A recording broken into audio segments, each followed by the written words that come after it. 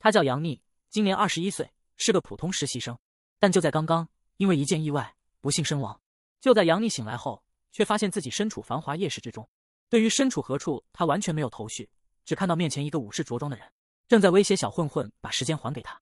眼看武士刀即将劈下，小混混连忙跪下求饶。此时，杨幂的背后传来一声骚动，回头一看，一只青龙面目狰狞的向着他发出怒吼。还没等反应过来，青龙就呼啸着直接穿过他的身体。不过杨幂并没有察觉身体有什么异常，青龙也立马腾空消失在世界中。回过神来，他发现自己换了一身衣服。面对在自己死亡后发生的一连串事件，杨幂感觉自己快要抓狂了，大喊着：“我要回家！”这时，街角的一个胖子冲着他打了声招呼。来了，老弟。他对于胖子的招呼很是疑惑，结结巴巴的回应了一句：“在叫我吗？”胖子一眼看出杨幂是新来的人，便提出有话进屋说，一边说着，一边拉扯着他进屋。进入了茶馆，杨丽终于觉得有个正常点的事件了。就坐后，就开始请教起胖子的姓名。胖子名叫王潇洒，专门给新人提供情报，就叫他小王吧。说着，就将自己的名片推给了杨丽。但杨丽还是问了一下小王：“这地方到底是哪？”小王很不解，质疑他怎么还没看出来这地方是哪里。很明显，这里就是黄泉啊！杨丽果然没猜错，自己刚刚出了意外就来到这里，这里果然是黄泉。小王看他如此激动，就让他冷静一点，说：“不要慌，能来到这里的人都是阳寿未尽之人，当然偶尔也有意外死亡来到这里的。”杨幂听了立马来劲了，难道自己还没死？小王肯定了他的说法，说：“没错，现实中的你现在没准正在抢救当中，但是在黄泉，时间是无限拉长的。如果在这里达成特殊条件的话，还可以重返人间。”杨幂惊呆了，问小王：“重返人间的特殊条件是什么？”小王说：“这个地方每天都会由那个人发布一个游戏，只要通关游戏，就能得到一张扑克牌。特殊条件就是集齐五十四张扑克，再找到隐藏着黑暗力量的钥匙，就能重返人间。”杨幂听明白之后，转身就跑着要去参加游戏。小王让他不要着急，觉得自己提供给了他这么多情报，是不是多少该一丝一丝？但杨幂当场就表示自己一分钱都没有。小王却说自己要的不是钱，要的是他的时间。难道没听说“时间就是金钱”这句话吗？在黄泉是用时间消费的，杨幂剩下的阳寿就是他的本钱。赢了游戏的话，还有时间奖励。他问小王要多少时间，小王大手一伸，要了五天。小王让杨丽放心，看他年纪轻轻，在人间至少还能再活五十年。杨丽同意了，便问怎么支付。小王转过身去，不知道在鼓捣着什么宝贝。没过多久，便掏出了一个收银机，上面写着“时间支付通”，只需要把手放上去就可以了。他就把手放上去了，显示要输入密码。小王说：“初始密码是本人的生日。”杨幂试了一下，果然支付成功了。支付成功过后，机器就开始发出提示音：“账户余额过低，余额仅剩十分钟。”这把他给吓坏了。杨丽就问小王：“这机子是不是出问题了？”小王轻声嘀咕：“还以为至少还有一个多钟头。”他急眼了：“明明只转账了五天时间，怎么就只剩十分钟了？”小王收到时间后立马翻脸了，表示意思很简单，就是他只能活十分钟了。小王也不装了，一把推开杨丽的手。心里想着，终于集齐了十年阳寿，杨丽这才意识到自己在黄泉被人给骗了。小王转身就逃出了茶馆，并说让杨丽好好珍惜自己的最后十分钟吧。杨丽奋起直追，边跑边喊：“王潇洒，你给我站住！”突然，一只手伸了出来，杨丽的腿被抓住了。原来是刚开始的小混混，他表示自己没时间了，救救他吧！刚开始的武士也追了上来，准备收下小混混欠的时间。小混混开始垂死挣扎，恳求杨丽给他一点点时间，一点就好。话还没说完，就传来倒计时结束的低声，小混混手上的计时器归零了。伴随着低声结束，就发出阵阵咔吱咔吱声，小混混的身体开始变成黑炭一样的碎片，把周围的人都吸引了过来。一辆履带车闻声赶来，司机乘客都是兔子。杨幂觉得很眼熟，刚才的茶馆里也有兔子。兔子下车就开始收集小混混的残肢碎片，一边收拾着现场，一边发出咕咕的叫声。没多久就收拾完尸体，打道回府了。杨幂这才见识到了在黄泉花光了自己的时间的下场。那就是被彻底抹除。就在他叹气的同时，街边的喇叭响了起来，游戏开始发布，请玩家有序前往附近 ATM 机确认并参加游戏。他想起来刚才骗子小王说的游戏，只要赢了就有时间奖励。随后就开始跑了起来，寻找附近的 ATM 机。时间银行里人山人海，杨幂一把冲了进来，大喊着我要参加游戏。一台游戏机状的 ATM 机被他锁定，便开始操作起来。随便捣鼓了几下，机器便有了显示。确认过后，就出现了一个任务。面对任务，他紧张的咽了口口水，心中恳求爷爷保佑自己。随后就按下了接受任务。刚接下任务，周围的一切就随着一股复色的冲击波而静止了。安静的氛围被告示牌的一只小老虎给打断。小老虎讲解着注意事项，请勿上当受骗，游戏即将开始，请您遵守游戏规则。说完，一道传送门就在杨妮的身边展开。他想都没想就钻了进去，因为现在不管怎么样，他都要先活下去。身后的小老虎还在说话：“尽情享受游戏乐趣，最后祝您长命百岁。”杨妮被传送到了一个满是显示器的密闭空间，身后也有许多被传送来的参加游戏的人。一位一看就很像主角的黄毛拧了拧自己的手腕，一位仙风道骨的长发男子在闭目养神，一言不发；一位长相潦草、穿着十分不得体的爆炸头大妈。两位看上去像是组队来的嘻哈男和萌妹子，还有一位白发美男子竟然带了自己的宠物，最后还有个沉默不语的地中海独眼大叔。杨幂对这些参加游戏的人感到很惊讶。一位腰间别着金腰带的大叔走了过来，上来就挑战梅花难度的游戏，勇气可嘉。大叔一边说着，一边向他走来，胸口的纹身写着“黄泉第一”，十分显眼。大叔一把勾住了他，解释自己是青红刺客店铺的黄熊，跟他组队，保证能第一，只要求他到时候加入他们店铺。显示器有了反应，并传出声音：“木头人游戏即将开始，请认真阅读游戏规则。简单的来说，就是前五个能赢，后四个失败。”黄熊觉得很简单，不就是比速度吗？这游戏简直是白送时间。杨幂却觉得不会这么简单就能赢。伴随着轰隆声，有什么东西出来了？一个硕大的假人玩偶从天而降，摔在了地面上。玩偶刚落地就开始张嘴：“今天有这么多小哥哥小姐姐陪宝宝玩游戏呀！”玩偶的声音断断续续：“快，宝宝已经等不及了。”之前带着宠物的白毛美男子掏出了一张 VIP 卡，要求提前气跑。玩偶识别了美男子的 VIP 卡，允许了提前气跑。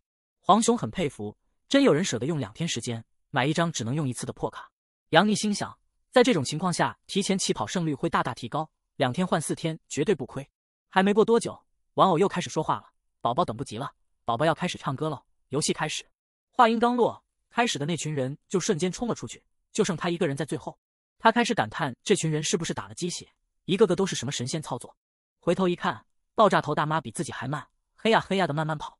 大妈看他在瞧不起自己，掏出一瓶药水，喝下后瞬间强壮百倍，风一样的速度跑了出去。杨幂觉得不对劲，这里的人一定有什么她不知道的特殊能力。啦啦啦，我们都是木头人，你不说话我不动，我不走路你不笑。身后的玩偶开始唱歌，哪个宝宝做得好，哪个宝宝死不了。小朋友们做游戏，你追我砍，真有趣。一个拿着大弯刀。一个戴着鬼面具，做完游戏要休息。话音落下，大妈喝了药水停不下来，直接往前翻滚了过去。这下糟了！倒计时结束之后，大妈还在翻滚，这触发了玩偶的惩罚机制，嘴里不停的念叨着犯规，犯规。那么接下来就让小白陪你玩一会儿吧。说完，玩偶肚子上的机关门开始打开，里面一只血腥恐怖的蠕虫开始不停挣扎，想要出来。没一会儿，虫子就锁定了犯规玩家，咆哮着向大妈冲来，在他面前发出怒吼。这下估计是死定了。虫子一头猛地扎向他，却被躲开了。不仅如此，大妈还跃向空中，手中的戒指开始出现黑色液体，直至把整个手掌包覆，形成了一把不可名状的黑色利刃。黑色利刃仿佛有生命一般，突然延长，一下子刺进虫子的身体，使得虫子发出痛苦的鸣叫声。原来之前恐惧的脸色都是伪装。大妈轻蔑的一笑：“不过一条虫子而已。”黑色利刃瞬间恢复原状，形成了一只黑色的手套。杨丽察觉出这应该就是大妈的技能，还没等大妈话说完。虫子嘴里吐出一股绿色的液体，还冒着烟，看上去就十分致命。仅是一滴液体沾上了衣服，直接就渗透进皮肤，把整个腿给横向切断了下来。尽管大妈身手矫健，也敌不过掉一条腿，疼得直接从空中摔了下来。疼痛难忍，她从口袋又掏出一瓶绿色药水，咕咚咕咚的喝下后，断腿就开始冒出白烟，仅仅是伤口愈合了。虫子贪婪的吞食着刚才被切断下来的断腿，玩偶还在助兴。太好了，小白，大姐姐给你喂点心吃了。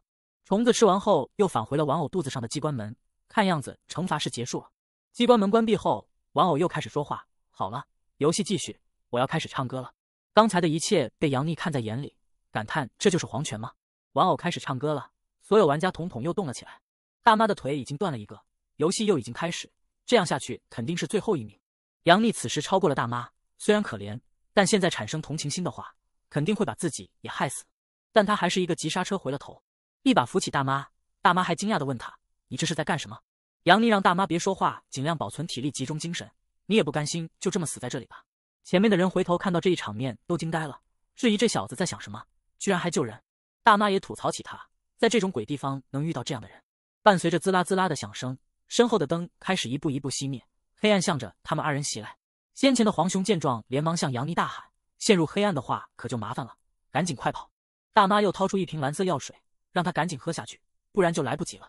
杨妮喝下后，体内的心跳开始加速，身体机能迅速提升，直接带着大妈大步冲刺，还好抓得够紧，不然都会被甩下来。杨幂爆发式的冲刺向前，几下子就脱离了黑暗。歌声停止了，玩偶开始念叨着：“做完游戏要休息。”一、二、三，木头人。杨幂伴随着话音落下，瞬间停止了步伐，一动不动的带着大妈定在了原地。没有人动，一点都不好玩。玩偶被气坏了，但身后的黑暗并没有随着木头人停下脚步。游戏再不继续下去，就要被追上了。没多久，黑暗就离他们二人一步之遥。头顶的灯开始忽明忽暗，玩偶也开始大喊：“游戏继续，快呀！”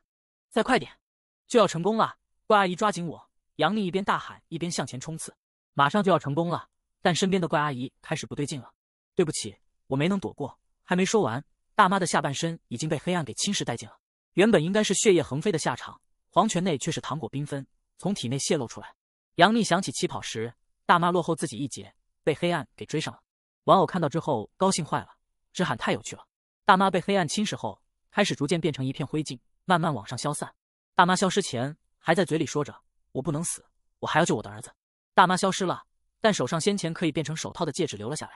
杨幂一把抓住了戒指，刚刚攥紧，脑海里出现了声音：“本命继承已激活。”抓到戒指的同时，大妈生前的记忆也开始浮现在杨幂的脑海里。大妈的孩子在逛街的时候走丢了，杨幂说：“我还是没能救你，只能请你放下这段执念，好好安息吧。”此时，另外一个房间内传出声音：“拥有特殊本命的人竟然又出现了。”整个游戏的一切都在监视之中。一旁的管家询问主人：“今天的游戏您还满意吗？”紫袍说：“似乎出现了一个有趣的本命吞噬。”管家说道：“现在看来还只是继承阶段，不知道会不会进化，可以期待一下。不过比起吞噬，我更想要你的眼睛。”紫袍又开始对着管家发威。管家听完不敢说话了，紫袍却开始大笑，但又瞬间转身，一只利刃般的手指戳向管家的黑眼白瞳，仅有一厘米的距离。你放心吧，只要钥匙还在你手里，我就不会伤害你。这下把管家吓得连忙鞠躬：“是的，主人。”过了一会儿，游戏内已经过了几轮，一直没人犯规，把玩偶气到了。杨丽开始心想：如果一直没人犯规，就没法赢了，下场到时候就会跟刚才的大妈一样。之前就在他跟前的独眼大叔也被甩到了身后，大叔也开始着急了，心里想着自己的帮手怎么还不出手相助。随后，大叔的脖子上的出现了一张嘴，嘴一张开，就冒出了一只黄黑相间的毒虫，笔直的往前方飞去。玩偶歌声结束。又开始数数，结束后，所有玩家停下了脚步。前面就是这一关的终点，只要跑出去就赢了。刚才独眼大叔脖子飞出的毒虫还在嗡嗡的往前飞，一眼就锁定了用了特权卡跑在最前面的白发。白发被毒虫尾部的毒刺扎了一下，疼得直接倒地坐下。动了之后被玩偶锁定，玩偶还在感叹有好心人帮助，那就由白发小哥哥接受惩罚吧。独眼大叔露出了满意的笑容，脖子中的毒虫可算是帮了大忙了。小白，去把它吃掉。虫子从机关门中喷出，迅速冲着白发去了。白发被逼无奈，从口袋中掏出一把小水枪，轻轻扣动扳机。杨幂心中想着，滋水枪可还行。扳机扣动，开始变形，直接武装了整个手臂，变成了一把巨型加农炮。去死吧，你这丑八怪！白发蓄力一击，冲着虫子开炮，直接把虫子头都轰歪了，往地上倒去，再起不能。杨幂被吓坏了，居然还有这种操作！小白，快起来，打不赢今晚没饭吃哦。小白在一旁说着。虫子的身体开始移动，里面有什么东西想要破壳而出。一只触角戳破了虫子的皮肤，呈现出来的是巨大的昆虫怪物。蠕虫形态的怪物进化成了成虫形态，杨幂也被吓傻了，感叹这怪物还能进化。白发也不是吃素的，直接又补了十几炮，一顿狂轰乱炸。本以为会消灭怪物，没想到怪物直接展开翅膀飞了起来，周围的烟雾都被震散。这下把白发给难住了，真是个难缠的家伙。怪物飞到最高点后，埋头冲刺，向着白发呼啸而来。怪物头部尖刺马上就要触碰到白发的瞬间，加农炮又变形成一把巨剑，尖刺被白发招架住了。招架住的同时，白发大喊：“波波，就是现在！”白发的宠物鸟叽叽咕咕的叫着，一跃而起，头顶的金色呆毛开始发光，犹如子弹一般。波波瞬间突进，直接穿破了怪物的甲壳。白发也趁此机会提起巨剑，就向怪物冲去。尝尝这个吧！白毛一剑挥去，怪物的尖刺直接被斩断成了两截。随后，巨剑开始闪烁蓝光。他又开始对着身体一顿疯狂的劈砍，这一下把怪物直接劈得七零八落，尸块散落了一地。这下可以了吧？木头人，继续游戏。玩偶开始鼓掌，感叹他的道具真多呀。白发开始跟身后的队友算账，不管刚才是谁，我不希望再有下次。这游戏我输得起，所以我不想跟你们这些垃圾计较。大叔感叹这小子还真有两下。游戏又开始了，大叔又开始出招，脖子上的嘴又吐出两只毒虫，一只直接就扎向了黄熊的脖颈，直接整只虫子钻进了脖子内。另一只刚飞到长发仙人的耳边，就被识别到了。长发仙人随手一挥，将毒虫击落。待毒虫落地后，说道：“这不是血蝉吗？”黄熊也开始向着身后的玩家抱怨起来：“哪个小兔崽子暗算老子？”仙人直言：“看来有人想要他们的性命。”这下性质可不一样了。黄雄一眼就看到了他手里的纸人，问道：“莫非你就是黄泉案头的江上？你觉得呢？”江上不耐烦的回答道：“那太好了，我是青红刺客的，咱们两家店铺可是攻守联盟啊！”黄雄建议江上一起联手。把身后几个下三滥出阴招的家伙给做掉。江上也正有此意，准备收拾了他们。说完，就抛出手里的纸人，冲着身后的人群飞去。纸人燃烧殆尽后，召唤出了半僵尸半兵马俑的怪物，直接就挥舞着大刀向着杨幂劈来。杨幂吓得用手一挡，先前的戒指一瞬间变成手套，接下了这一击劈砍。江上察觉到杨幂这小子不对劲，杨幂大手一挥，一爪就直接抓破了兵马俑的腰间，兵马俑也应声倒地。黄雄直言江上太弱，连个刚进游戏的菜逼都搞不定。江上一抬手，直接掏出四大天王的纸人，召唤出四个兵马俑，一看就不简单。独眼大叔眼看江上动真格的了，黄毛也赶紧让刚才放虫子的人出来承认。萌妹着急了，问道：“小杰，我们怎么办？”小杰说：“别担心，有他在。”杨幂开始召集身后的玩家，黄雄他们摆明了是想联手把我们全杀了。既然这样，不如我们五个联手把他们两个解决。小杰认为有道理，一起上也许有胜算，不如试试看。黄毛也表示，既然他们先动手。我们也一不做二不休，弄死他们。黄雄来劲了，哟呵，一帮垃圾凑一起了吗？那就让你们见识见识赤红黄泉之鬼的实力。大叔也不掩饰了，脖子上的大嘴吐出无数毒虫，全都蜂拥而上。这一幕被黄毛全看在眼里，原来是这个老东西干的好事。杨幂让他们俩别计较那些了，现在先打再说。黄毛十分无语。江上的兵马俑提着刀向着小杰劈来，萌妹大喊小心，说完就抬起双手，大喊火焰特效，一小团火焰在掌心生成。小杰也开始展现自己的技能，掏出一把左轮手枪，说道：“看我打爆你的狗头！”黄熊变身花费了半天时间，江上见了开始吐槽：“你变身后的技能就是一动不动吗？”黄熊终于变身完成了，让你久等了，江上。黄毛还没等黄熊说完，一个机械冲拳就要狠狠打他的脸，速度如此之快的拳头却被黄熊一掌接下。这一下铁拳的力道被他感受到了，感叹道：“你小子真行啊！”便死死捏住黄毛的拳头。杨幂趁两人僵持之时。就要从背后给予重击，但一举一动都被黄熊看在眼里。黄毛整个人都被黄熊拎了起来，一个蓄力就把他砸向杨幂。这一下把两人狠狠地撞在了一起。看来这个战术完全不行，被黄熊拿捏的死死的。两人还在喘息之时，背后的兵马俑悄悄靠近，还好有人在掩护他们。原来是萌妹使用的火焰技能，让二人赶快爬起来。黄熊发动瞬移，来到了萌妹身边。小妹妹，你这是在玩火吗？这把小杰吓坏了，大喊：“取其危险！”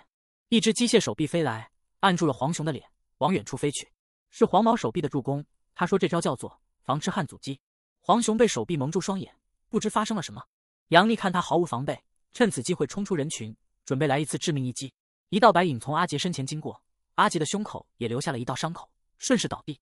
杨丽还没出手，就被江上抢先一步袭击了队友，怒发冲冠，准备和他拼死一搏。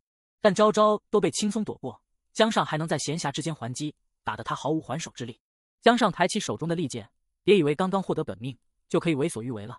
刚说完，一声广播响起：“第一名白夜完成游戏，即将进入倒计时阶段。”白毛趁他们打的难舍难分，已经到达了终点。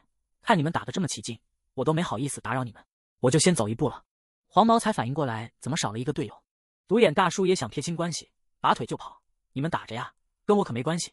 江上可不会轻易放过这种人，原地开始做法，拔剑而出。一道剑影从大叔的脖子上划过，一命呜呼。画面一转，几人已经结束了游戏，坐上了列车。曲奇还在为阿杰的死感到伤心。杨幂想着，这里也不是进游戏的地方。黄毛说，每次游戏结束以后，玩家都得坐这趟车离开会场。不过刚才的黄熊和江上应该也有其他传送点。杨幂摸了摸口袋，多了一张扑克，这就是那个可以重返现实的扑克牌。没错，除了扑克牌，还有时间奖励。他又看了看手上的计时器，多出了七十二小时。列车广播响起，前方到站，黄泉大街站。这还是他第一次来到白天，没想到这里竟然这么大。杨丽看曲奇还在哭，问道：“那个小哥是你的男朋友吧？你要是没地方去的话，我们一起吧。”曲奇答应了。下车之后，众人来到了灯火辉煌的黄泉大街。黄毛拉了拉看呆的杨幂，让他抓紧走。走了没多久，杨幂就累得半死不活的，直接在路边长凳坐下。他发现自己和江上交手后，手一直在止不住的颤抖，身体变得好奇怪。曲奇提出让他来看一下，直接就压倒了他，开始上手。掀开衣服一看，果然受伤了，灵体正在流逝。不过不是什么大麻烦，稍微处理一下就好了。曲奇给杨幂扎了个少女心十足的粉色绷带，杨幂便开始自我介绍：“我叫杨幂，你叫小琪对吧？”曲奇解释说自己叫曲奇。黄毛也说：“我叫马三，A.K.A 胖子。”这把杨幂听懵了，胖子。黄毛解释说自己本来又高又壮，有一百九十斤，结果差点被本命反噬，就改造成现在这副铁皮身体了。杨幂说自己在游戏的时候也解锁了本命，本命到底是什么？黄毛说：“且听我娓娓道来。首先，本命就是……然后就肚子咕咕作响。黄毛提议去吃饭，边吃边说：曲奇十分赞成。这个本命就是本我生命能量的具象化体现，也是弥留之地每个人都有的技能，会因为些机缘巧合被激活，每人只能拥有一个。本我生命能量又是什么？”杨幂疑惑不解。曲奇在边上说：“刚才你也看到你的伤口了吧？我们在这个世界是不存在肉身的，说白了，我们的皮囊之下只不过是某种灵物质罢了。所以，我现在是鬼魂吗？不对，我们是执念。本命和拥有者的出现就是执念。”我的本命是爆炎，属于技能类的，吟唱咒语可以生成火球攻击。杨幂想起之前本命继承已激活，那他的本命就叫做继承。胖子又说：“我听说呀，阎王有个超牛逼的本命，叫做吞噬。阎王那是我好哥们儿。”我呸！别听他吹牛。曲奇看不下去了，打断了胖子的发言。阎王那可是传说中的人物，听说他的本命吞噬超级厉害，在整个黄泉街掀起了一场革命。后来他在这里定下许多规矩，当时没有一个人敢违抗。不过他好像有十多年没现身了，有人说他已经离开弥留之地了。你说什么？他离开了？杨幂拍桌而起：“杨兄，你先别急，要不你跟我去趟时间银行吧？我知道的这些也都是从时间银行听说的。”胖子安慰道：“刚才的木头人玩偶正在被人进行调试。”白瞳大人，宝宝刚刚发现了一个有趣的家伙呢。原来你也发觉了？是的，宝宝以前也遇到过一个这样的人。阎王的本命吞噬，不过审判日快到了，偏偏在这个时候出现，真难办了。下一位，请到一号柜台办理业务。小饼干妹妹，一会儿我送你回家吧。胖子几人来到了时间银行。你是害羞了吗？还真是个有趣的女人。那么接下来就由我来照顾你。曲奇一口拒绝了黄毛。杨幂把手上的时间兑换出来了，提议去买点东西。胖子说隔壁就是道具屋，招牌上写着好商要两天，特权卡五天。杨幂觉得这不坑人吗？这里物价局是怎么想的？你好，需要点啥？一位白发服务员戴着微笑服务的面具，刚刚睡醒。果然。就算到了这个世界，我一样是个穷逼。只有三天时间的杨幂啥也买不起。曲奇觉得现在没必要考虑兑换道具的事。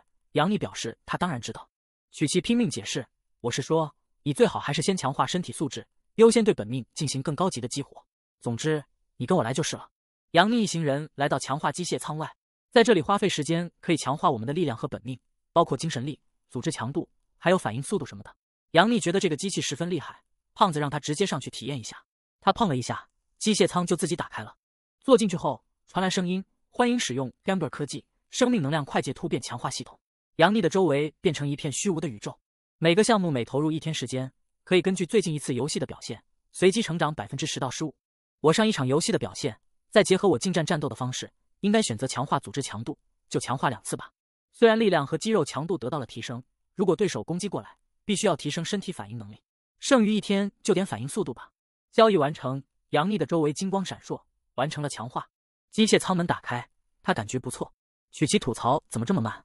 他表示自己第一次用，还发现胖子不见了。曲奇说他去别的电器街那边维护一只了，不用等他，明天他会来找我们的。接下来跟我来，我带你去开个房间。头顶一只巨大的鲸鱼在空中遨游，杨丽感叹这就是传说中的鲲吗？曲奇说他还没有房间对吧？在弥留之地，每个人都可以免费领取一间房间居住，信息已录入，确认入住。虽然说环境很一般，也算是有地方歇脚了。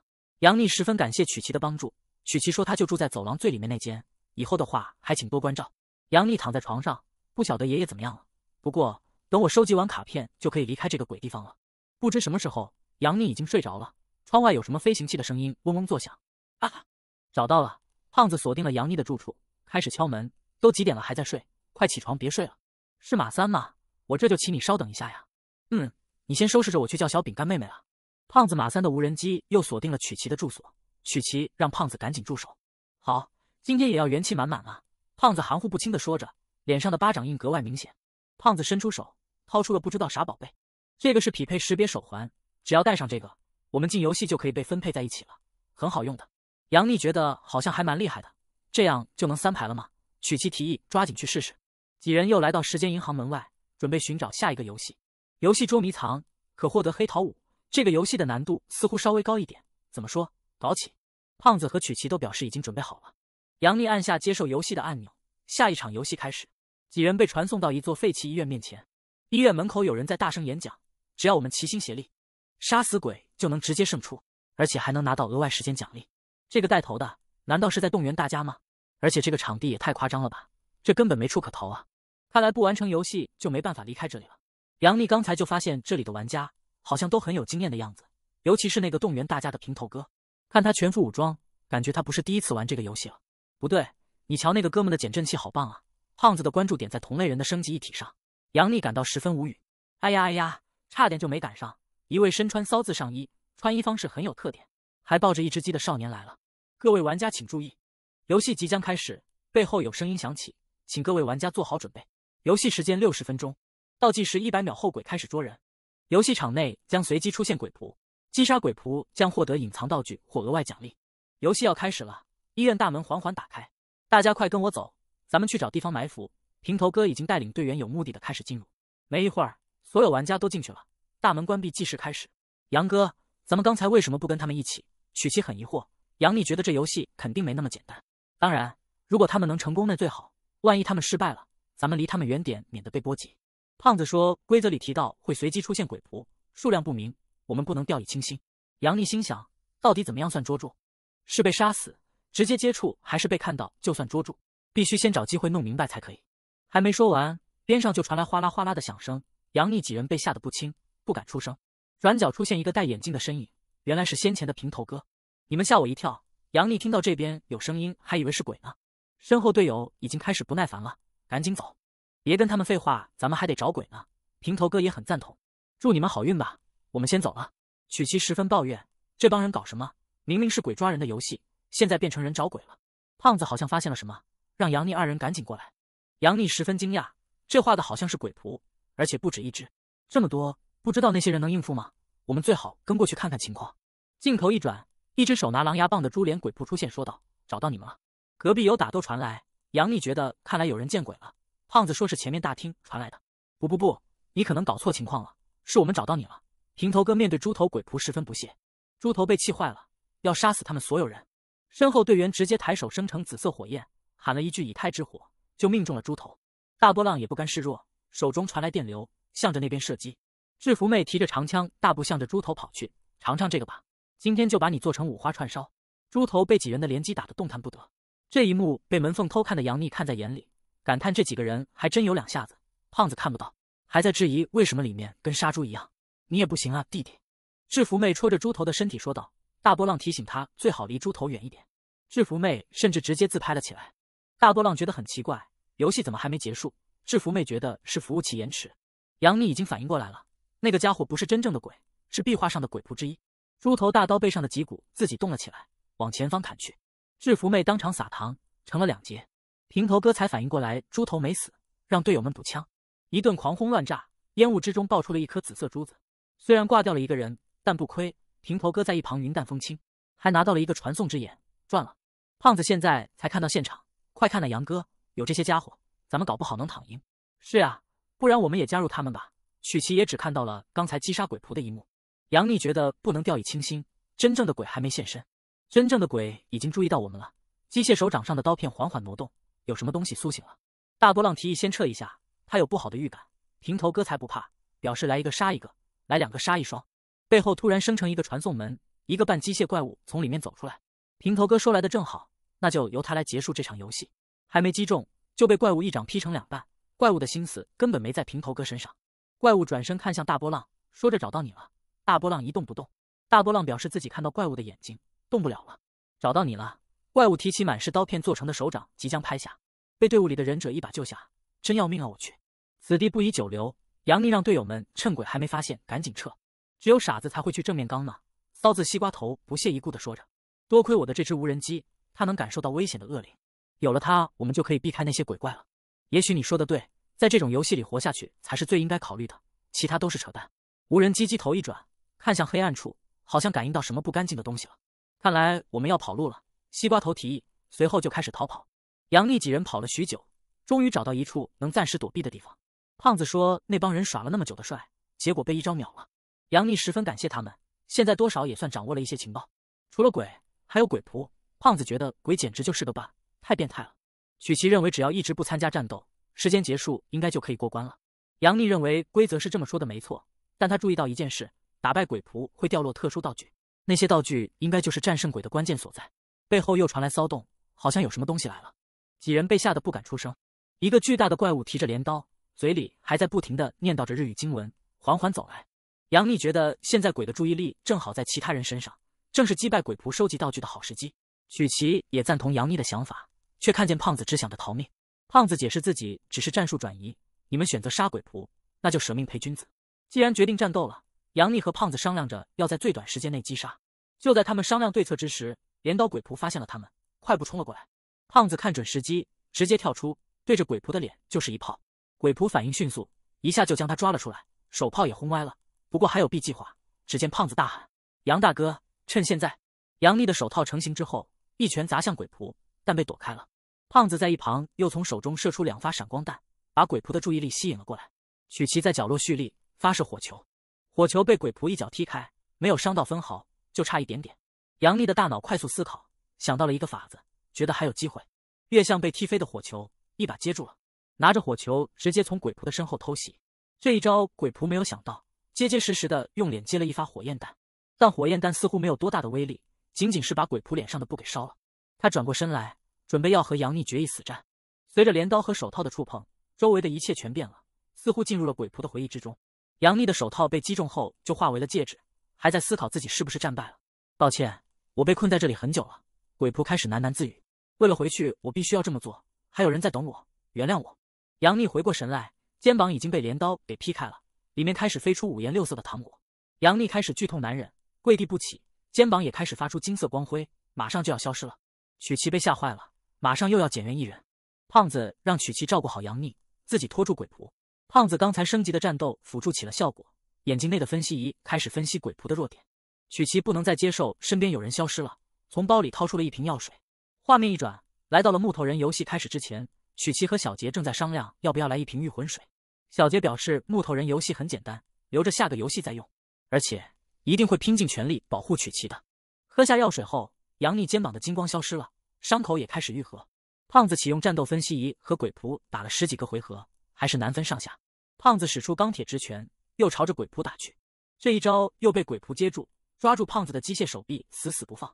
鬼仆刚准备一镰刀劈下去。胖子直接卸下手臂，闪身到一旁。鬼仆还在被自动卸下的手臂困扰。战斗分析仪分析到了敌方漏洞。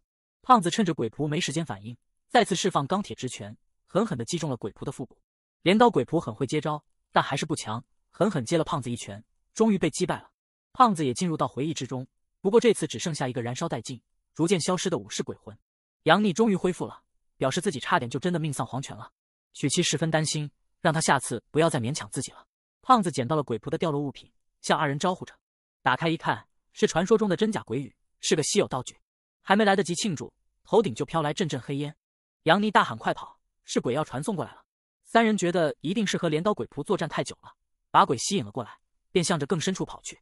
几人终于又找了个暂时安全的场所，把门死死顶住了。对了，刚才的话还没说完。杨幂想看看那个真假鬼语。真假鬼语，一个真一个假。点燃真的可以短时间观察到鬼和鬼仆的位置，点燃假的可以制造一个幻象，能执行一些简单的命令迷惑敌人。杨幂觉得真宇就是获得信息的最好方式，胖子就问曲奇借了个火，点燃了真宇，随即在头顶出现了整个医院的全息投影。杨幂看懂了，黄色火焰是鬼仆，深色火焰的是鬼，绿色的是玩家。曲奇认为建筑结构、位置、地形、楼梯、通道都是很有用的信息，大家一定要尽可能记下来。胖子立马启动战斗辅助。开始扫描整张地图，全都拷贝了下来。杨幂在身后看了看胖子这样牛逼的技能，看来还是自己比较弱。西瓜头和机械腿听到了什么动静，停了下来。身旁的电梯停在了这一层。机械腿觉得是鬼仆，西瓜头表示淡定，自己的无人机都没反应。电梯缓缓打开，一个巨大的泡菜缸子出现在眼前，上面还贴满了封条。几人所在的房间头顶满是灯笼，墙上还有奇怪的浮世绘壁画，周围的雕像都被砍掉一半头颅。这灯笼闻上去也有股腥臭味，杨幂劝胖子最好放下，因为他观察了一下壁画，这些灯笼应该是受害者做成的人皮灯笼。墙上画的就是有人召唤了邪灵，邪灵用杀死玩家的方式做成包裹灵魂的灯笼，源源不断的为鬼提供能量。突然，西瓜头和机械腿冲破大门跑了进来，表示身后有怪物。西瓜头觉得再不采取措施都得死，就用电磁弹打中了他的一体，当场散架。西瓜头见杨幂几人没察觉到机械腿的存在，便开始装可怜，故意摔在了地上，颤颤巍巍的指着门口喊着：“怪物要来了，你们一定要救救我！”大门传来很大的咚咚声，好像有什么东西要冲过来了。杨丽让大家小心。只见刚才电梯里巨大的泡菜缸一跳一跳的蹦了过来，二人很疑惑，怎么来的是这么大的一个咸菜坛子？砰的一声，泡菜缸的盖子弹开了。这一幕把众人吓得立马进入战斗状态，里面缓缓爬出两个大舌头怪物，看上去像黑白无常。这俩货是鬼仆吗？怎么看上去这么弱？两个鬼仆从缸上跳了下来，没有配合好，摔到了一起。这一幕把曲奇看得少女心泛滥。两个可爱鬼也太蠢了。话锋一转，两个鬼严肃了起来。小白掏出骨刺，直接冲了上来，簸叽簸叽的跑了老半天，终于跑到了杨幂跟前，准备投掷骨刺。杨幂还是觉得是不是太弱了一点，随便用脚踢了一下，直接把小白给踢翻了。没想到是看起来弱，实际真的很弱。小黑也不甘示弱，冲向胖子。但也被击退了下来。曲奇还沉浸在萌物之中，一边笑眯眯，一边用火焰弹轰击着他们。虽然两个鬼很弱，但大战了几十个回合，两个小鬼丝毫没有受伤。胖子累得气喘吁吁，感觉十分不对劲。两个小鬼突然又冲向胖子，但还是很弱，被胖子几拳打飞。小白又带着骨刺戳上来，胖子都不耐烦了，轻松击退。他还在沉浸在殴打菜鸡的喜悦之中，却没发现胳膊的异常。明明没有伤口，灵魂却在流失。西瓜头开始解释了。这两个小鬼虽然毫无战斗力，但他们会慢慢消耗你们的体力，然后一点一点的吸取灵魂。正是因为毫无危险，所以无人机也没察觉到，刚才差点害得他死在这里。太小看这两个小鬼了。杨幂说他只会马后炮，建议大家先撤退。西瓜头不乐意了，谁都别想跑，掏出了两枚骰子。喂，你这家伙搞什么鬼？胖子急了，骰子落地形成了一个长方体屏障，把几人都关在了里面。杨幂几人刚刚才救过他一次，没想到出尔反尔。西瓜头表示：“那你们就再救我一次吧。”两个小鬼的目标变了，这次变成攻击曲奇。只听见骨刺命中的声音，原来是胖子闪身到曲奇面前，挡住了骨刺的攻击。又要有人在曲奇面前消失了。杨丽在边上掩护着二人，顺便询问曲奇胖子的情况。不行，他的灵魂在流逝，他这下也没法子了。刚刚击退下去的小鬼又恢复冲了上来。如果再这么下去，别说胖子的灵魂会流干，就连杨丽自己也不保。杨丽注意到小鬼的罐子里全是刚才被吸收的灵魂。他们都被骗了，罐子才是两个小鬼的本体，也来不及验证了，只能拼一把。小鬼又来干扰，曲奇为了能灭掉罐子，替杨幂挡了一刀。去死吧！酸菜坛，杨幂终于击碎了罐子，曲奇挡了一刀，一直在闭眼等待死亡的到来。不过还好，杨幂击碎了罐子，流失的灵魂都回来了，小鬼也失去了灵力，变成了普通的布娃娃。一旁的胖子以为自己二次死亡了，来到了黄泉中的黄泉。杨幂表示，胖子躺着的时候错过了太多，已经击败了小鬼。曲奇询问杨幂击败怪物后有没有拿到隐藏道具，左右翻找之后，杨幂在碎片之中找到了一个打火机，上面写着“传送之火”。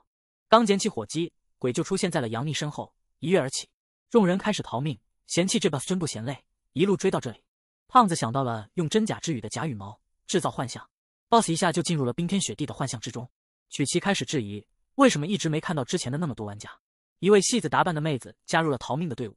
声称自己看到其他玩家都被鬼仆掰断了脑袋，曲奇和胖子傻了，突然就多了个人。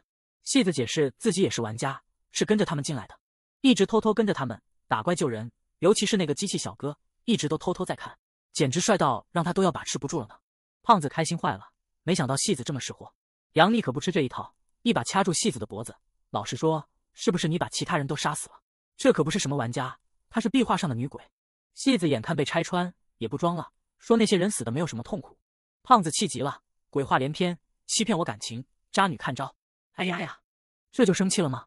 男孩就这种气量可不行哦！女鬼瞬移到了胖子背上，胖子还没反应过来，女鬼的瞬移上身。女鬼说刚才夸他帅可是真心话，随便说了一两句，胖子又神魂颠倒了。后面传来曲奇的喊声，突然出现了两个曲奇。杨幂觉得女鬼没想伤害他们，只想跟他们玩。两个曲奇还在争斗当中，boss 摸了一下雪花，没有任何温度。才发现自己被骗了，气急败坏，全都得死。刚刚走出幻象，BOSS 就听到了曲奇的争吵声。女鬼现出原形，表示跟他们玩还蛮有意思的。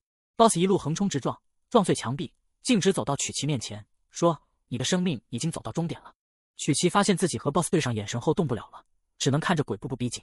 就在马上命中的瞬间，杨幂掏出火机，叮的一声点燃，响声过后，几人被传送到了户外。原来是医院的楼顶。曲奇表示，那岂不是无路可走了？胖子看了看时间，还好还好，剩十几分钟游戏就结束了，只要在楼顶苟住就好了。Boss 被刚才他们使的花招气得怒不可遏，突破房顶爬了上来。这次看你们往哪跑！boss 一跃而起，又找到了刚才的曲奇。此时，杨幂的手套自己开始形成，脑海里传来一个声音：本命二阶段已激活，手套变得比之前更厚、更大了。boss 的重击被手套轻松挡下。胖子觉得杨幂肯定是觉醒二阶了。boss 感叹竟然能接住自己的重击。胖子趁着 boss 还在惊讶的时候，冲过去就是一击铁拳。曲奇回过神来后，也施展了自己技能火焰雨，铺天盖地的朝着 boss 砸去，浓烟四起。boss 被三人的组合技痛击。杨幂表示这就是新晋组合的威力，趁现在抓紧投降吧。根据有烟无伤的定律，boss 果然没事，觉得他们几人太自以为是了，只不过是一顿晚餐而已，居然这么猖狂。接下来 boss 的所有攻击。都被杨幂二阶本命后一一躲开，但杨幂忘记了 BOSS 的对视定身，被定在原地一动不动。胖子见状，连忙让战斗辅助系统帮帮忙，一会儿就按他说的做，一个冲刺就把即将要被命中的杨幂撞开了。鬼很气愤，又转眼看向胖子，胖子这下不能动了。杨幂刚刚被撞开，没来得及反应，曲奇的火焰技能还在冷却，这下要完了。BOSS 觉得胖子十分可笑，一命换一命，抬起手就要劈下去。胖子的手臂突然开始喷射，向上一个喷射冲拳。把 BOSS 手臂直接干散架了。原来定身术无效，是因为胖子让战斗辅助把他的脸给换了，看不到原来的眼睛，当然不会被定身。曲奇提示胖子自己的 CD 已经好了，胖子就让他抓着自己飞了起来。飞到 BOSS 正上方之后，曲奇念动咒语，一个巨型的六芒星火焰阵生成，向着 BOSS 轰去。超大的阵法直接把 BOSS 周围的一切燃烧殆尽。杨丽感叹：好强劲的火焰，自己也不能落后，要补上最后一击。给予了 BOSS 重击之后，鬼终于倒下了。感叹自己真是不甘心啊！都结束了，安心的去吧。鬼在临死前闻到了杨丽身上的气味，是他，就是他，你身上有着和他一样的味道。杨丽十分不解，不知道鬼在说什么。boss 消失之后，掉落了一把武士刀，被杨幂捡了起来，继承武器。日月丸。杨幂突然被拉到一个黑暗空间，出现在一个巨大身影的手掌中。巨大身影只说了一句：“你可算来了。”说完，杨幂又回到了屋顶。刚才的一切如同做梦一般。许七和胖子也赶了过来。医院的天空开始烟消云散，露出光芒。他们终于成功了。杨幂说：“大家都辛苦了，各回个家吧。”刚准备走，西瓜头又出现在众人面前，想要和他们一起走。西瓜头直接跪在地上，开始求饶，说：“知道是自己该死，自己太菜了，只能用这种方法苟活，一定改正，请求各位英雄给一次机会。”胖子根本不听，上去就准备给他来一拳，但被杨毅挡下了。这个家伙虽然让我们陷入危险之中，但是我们现在应该也没有权利。来决定他人的生死吧，这次就先放过他吧。刚说完，西瓜头又变脸了。你们也太好骗了，我先走了。刚走就被地上的头发给绊倒了，头发缓缓起身，是刚才的戏子女鬼。女鬼说：“小朋友做坏事是会有报应的。”女鬼说：“他们的游戏已经完成了，可以走了，把西瓜头交给他吧。”西瓜头说：“游戏都结束了，这是赖皮，但还是被女鬼给强行抓住了。以后有机会一定来听他们的故事，这次就先走了。”回到大街后，看了看自己破损的上衣。还是刚来黄泉时不知道怎么穿上的，这样下去还不知道要坏多少衣服。胖子耳朵都要听出茧子来了，把自己衣服脱了给杨幂穿，衣服又不贵，买几件不就好了？杨丽觉得，难道这地方还有商场可以买衣服吗？许琪就提议明天去采购一番，但身后的胖子好像没多大兴趣。杨丽提议胖子一起去，胖子一口拒绝了，好像有啥难言之隐。杨丽也没有过多追问，就约好明天见。胖子问杨丽这么早也打算休息吗？二人就决定一起去大吃一顿。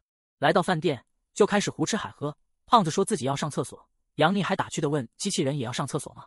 刚一起身，就和一个花臂撞上。花臂一看是个机器人，就开始破口大骂：“是没装眼珠子吗？”杨幂开始打抱不平了：“那明明是你先撞到我朋友的，有毛病的是你吧？居然和这种垃圾货色做朋友！”胖子劝说：“算了算了。”周围人也开始看热闹，好像都瞧不起机器人，都说是垃圾。杨幂刚准备教训一下骂人的花臂，就被胖子匆匆带走了。杨幂很奇怪。明明是对方在找茬，得寸进尺，为什么胖子能忍得住？胖子说，在弥留之地就没法用现实的观念衡量一切了。这个世界所崇尚的是本命，科技反而是最廉价的。在这里放弃自己的本命，把自己改造成机器人，是最不入流的行为。而本命就是来自神的馈赠，他曾经因被本命所反噬，把自己放在这个铁做的身躯里，才特么捡回一条命来。他并不是故意要对杨幂隐瞒这些，只是害怕他有一日知道真相，就会像其他人一样看待他。被当作异类真的很不好受，不想失去大家。胖子回忆起小时候的场景，其他的小孩说自己是没妈的野孩子，老爸也跑路了，我才不是野孩子。杨幂向胖子保证，不论是神选之人也好，机械之躯也罢，从今天起，我们就是一家人。胖子感激涕零，说不出话来。杨幂安慰道：“有人说过，科技才是第一生产力，一起用科技改变这个世界吧。”曲奇来到商场，迅速挑选好了自己要的衣服，开始催促杨幂：“怎么那么磨叽？”黄泉商场里络绎不绝，人山人海。不知过了多久，杨幂终于穿完了衣服，挑选了一套当下最流行的机能风，把曲奇给帅迷糊了。胖子刚到商场。就提议去吃饭，简直是饿死鬼转世。饭店里，小狸猫们忙个不停，在打理着饭馆。刚走进饭店大门，一个白胡子老头就欢迎杨幂几人的到来。欢迎几位光临，暗味仙，我是店主阿金。正所谓人生在世五十年，吃饱肚子活神仙。曲奇就点了一份三人套餐，三人开始大快朵颐。门口有人进来，说了一声“老板，随便来份炒面”。杨幂几人回头一看，是木头人的白发小哥。白发也感叹，真是太巧了。几人碰面后开始自我介绍。白发说：“我叫白夜，白色的白，黑夜的夜，很高兴认识大家。”白夜很感谢他们，在木头人游戏里多亏了他们吸引火力，自己才拿了第一。随后就掏出一个沙漏道具，请他们收下作为谢礼。白夜称这是以前无意间获得的，具体怎么用，到时候就会知道。临走前还吩咐老板自己要把他们那一桌一起给结了，随后跟他们说自己有事就先告辞了。出门前看着杨幂几人吃饭时的打闹，也只有在这一刻，我们这些将死之人们。才会感觉到自己还活着吧？这么看来，还真的有点于心不忍呢。几人吃完后，胖子说不要急，等没时间了再去参加下一场游戏。被曲奇大骂太堕落了。随后几人便赶往时间银行。踏进时间银行大门，杨幂就听到熟悉的声音：“来了，老弟。”王潇洒在边上又在骗人：“兄弟，我瞅你这是刚来黄泉吧？没事儿，得亏你这是碰见我了。”杨幂打断了他们的谈话，上去就是一拳：“你还记得我吧？你欠我的要用什么还？”王潇洒开始装傻了，不是您哪位？您咋知道我名字？杨幂开始劝说被骗的小哥，这家伙是这附近的骗子，你没让他骗吧？小哥让杨幂放心，早就知道他是骗子了，而且这种骗术只有傻子才会上当吧？王潇洒趁他们聊天化为原形，原来是个鲶鱼精。杨幂在巷子里一路追逐王潇洒，眼看要追不上了，就变出手套准备抓住他，刚要出手，就被路边一个黄衣道袍大叔直接把手套给接住了。杨幂还想还手，大叔就劝说起来。我不想在大街上和你动手。如果你是聪明人，还是快点走吧。奉劝你一句，别和我们黄泉案头作对。王潇洒十分感激，连忙道谢，多谢朱兄出手相救。原来他们是一伙的。杨幂才不管什么黄泉案头，刚准备还手，就被识相的胖子带走了。不好意思啊，我这个老铁刚才喝多了，我们这就走。王潇洒开始狗仗人势，花花世界迷人眼，没有实力你可别再胎。话说回来，朱老兄怎么会在这里？道袍说白夜那小子闯祸了，老师让他来找他算账。杨幂给队友们讲述了自己被王潇洒诈骗的经过，又开始询问黄泉案头的来历。胖子说：“那可是黄泉第一店铺，第一任老板就是阎王。”杨丽还记得阎王已经离开了黄泉，那现在黄泉案头的老板是谁？胖子也表示不知道，反正估计也是一号很厉害的人物。杨幂想了想，为啥我们不能在黄泉开一间店铺呢？既然有人做得到，那我们也可以。这种想法被胖子否定了，因为开店需要不少时间，以他们的实力根本开不起来。弥留之地的各位居民请注意。头顶的飞艇开始大声广播，杨幂还是第一次见。曲奇说这是 GT 科技公司的宣传飞艇，沙盒式地图，多关卡设计，完全沉浸式体验。这是你没有玩过的全新版本，高额奖励，卡牌加成，尽在自走棋。镜头又来到满是字画的房间，一位紫发人物正在作画。白夜那孩子是带着我们的东西跑路了，是这样吗？没错，夏尔老师，道袍回答道。难道这就是黄泉案头的店主？杨幂几人第二天来到自走棋的临时站点。没想到这个游戏异常火爆，全是排队的人。他们几人来的已经算早了，还是排在了队伍靠后。此时边上伸出来一只牛蹄，那边的几位小哥要不要看看？还在为买不着票而烦恼吗？我这里什么票都有，这票贩子也太像黄牛了。胖子的注意力全在人气少女偶像的现场票上。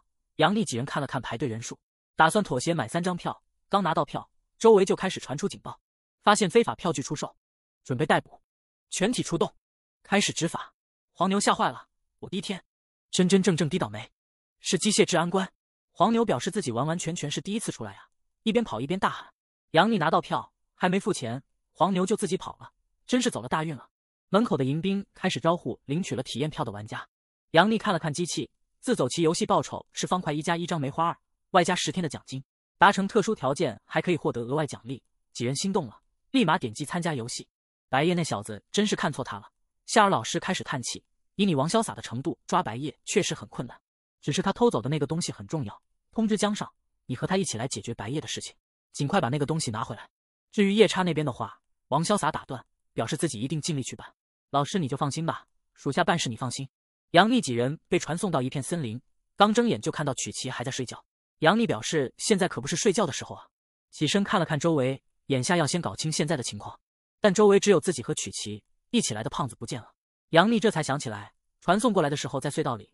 有一种力量想把他们三人分开，胖子一下就被甩开了，是自己抓住了曲奇。不知过了多久，曲奇终于醒了，问自己还活着吗？杨幂说没事，只不过胖子丢了。曲奇提议，那就赶紧去找找他吧，说不定就在附近。各位玩家，欢迎来到自走棋，整个世界都在传出声音。自走棋顾名思义就是自己走了，走到地图中心的那个火山就可以了。不过要小心手上的手环，点数耗尽就会死。点数可以在地图中寻找并击杀魔物，就可以获得了。或者也可以通过另外一种方式获得，你们应该都懂了。那么现在游戏开始，胖子被中途甩飞，传送到一片大沙漠，毫无方向感可言。一名女猎手也来到了森林，只要沿着这个方向一直走就可以了，绝不能节外生枝。杨幂猜的不错，随着时间流逝，他们的行动点数也在减少，这些点数绝对不够他们用的。胖子还在沙漠里行走着，机体一直在过热警报，再不喝水的话，感觉就要死了。走着走着，胖子的眼前出现了一片绿洲，把他给惊呆了。谢天谢地，真是天无绝人之路。胖子赶到仅剩的一片水潭，面前是之前吃饭起过纠纷的纹身小哥。纹身小哥让胖子自觉点，像上次那样从他面前快点消失，否则就打爆他这块破铜烂铁。闭上你的臭嘴沙雕，赶紧滚吧！胖子有了同伴的存在，已经不在乎其他人的看法了，一炮轰飞了纹身哥。杨丽二人一直在赶路，渐渐走入一片浓雾之中。水潭中的鱼人一直在监视着他们，他们并没有发现。他们走到一棵树下。躺着一位玩家的尸体，杨幂仔细看了看他的脑袋，应该是瞬间被掰断的。最关键的是，他的装备完全没有被劫掠过的样子。这也就是说，杀死他的不是别的玩家。鱼人看自己已经暴露了，从水中一跃而起，发射出鱼叉。还好杨幂反应快，瞬间变出手套格挡了下来。曲奇被这个鱼人恶心到了，质疑会不会是传说中的美人鱼战士，发射出火球，扬言自己今晚要吃烤鱼。果不其然，鱼人一发淤泥就把火焰给浇灭了。随后就开始张嘴发出尖锐的爆鸣声，让杨幂二人难受不已。突然从森林深处射出一发箭，直接给鱼人爆头了。猎人走了出来，让他们两个抓紧离开。这只人鱼只是个斥候。杨幂十分感谢猎人的搭救，曲奇小声让他不要随便跟别人说话。杨幂根本没放在心上，继续追问是不是要去山顶，要不要组队一起有个照应。刚说完，猎人就拉开弓弩，朝着杨幂来了一箭，一发命中了杨幂身后的另外一只鱼人。曲奇发现了什么，让杨幂快看。身后的水潭陆陆续续浮起来许多只人鱼，胖子补充完水分，又走了许久，连个人影都没看到。转眼就看到几只鸭子出现在身旁，今天的晚饭可算是有了。胖子一把抓住一只鸭子，鸭子被弄急眼了，开始金光闪烁，变身了。头部是鸭子，身体却是一副壮汉的身体。刚刚怀里的鸭子也出现在胖子身后，这下要遭殃了。鱼人一群接着一群，打完又立马补上，把杨幂给累坏了。这些鱼人老老实实待在水里不行吗？一只鱼人悄悄摸到猎人身后，投掷出手里的鱼叉。杨幂立马补上身位，挡住了鱼叉，提示妹子趁现在。妹子感叹杨幂的盾牌还算不错，便一发带走了鱼人。杨幂提议自己来吸引火力，猎人负责输出。曲奇吐槽杨幂说是让自己先躲起来，其实是想和猎人妹子搭上而已。另一边，胖子刚刚被鸭子收拾完，又站了起来。喂，那边的哲学鸭，我还没倒下呢，怎么能看着我的晚餐就这样溜了？随后就提出要与鸭子一对一。互掐了起来，胖子一个战术位移来到鸭子身后，用出了哲学裸脚。鸭子的荣誉感十足，说单挑就单挑，输了就是输了。胖子还称赞哲学鸭作为一只鸭子已经很厉害了。杨幂这边还在抵挡鱼人来势汹汹的攻击，抵挡的期间还不忘跟猎人妹子自我介绍。猎人提示杨幂战斗的时候专心一点。终于来了一只像样子的鱼人，一看就是水潭的老大了。鱼人老大法杖使出雷电之力，迅速的向着杨幂飞来，命中的瞬间，猎人一把推开了杨幂。雷电之力劈下，产生了巨大的爆炸。烟雾散去后，却不见猎人的身影。又一只鱼人出现在杨幂身后，杨幂的继承武器日月丸有了反应。杨幂的身体开始不受控制，自动掏出日月丸，一个转身就劈死了鱼人。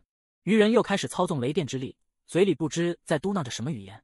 这一发被杨幂的盾牌又抵挡住了，一边用盾牌抵挡着雷电，一边拿着日月丸向着鱼人老大冲去，闪身上前和他大战了十几个回合。没过多久。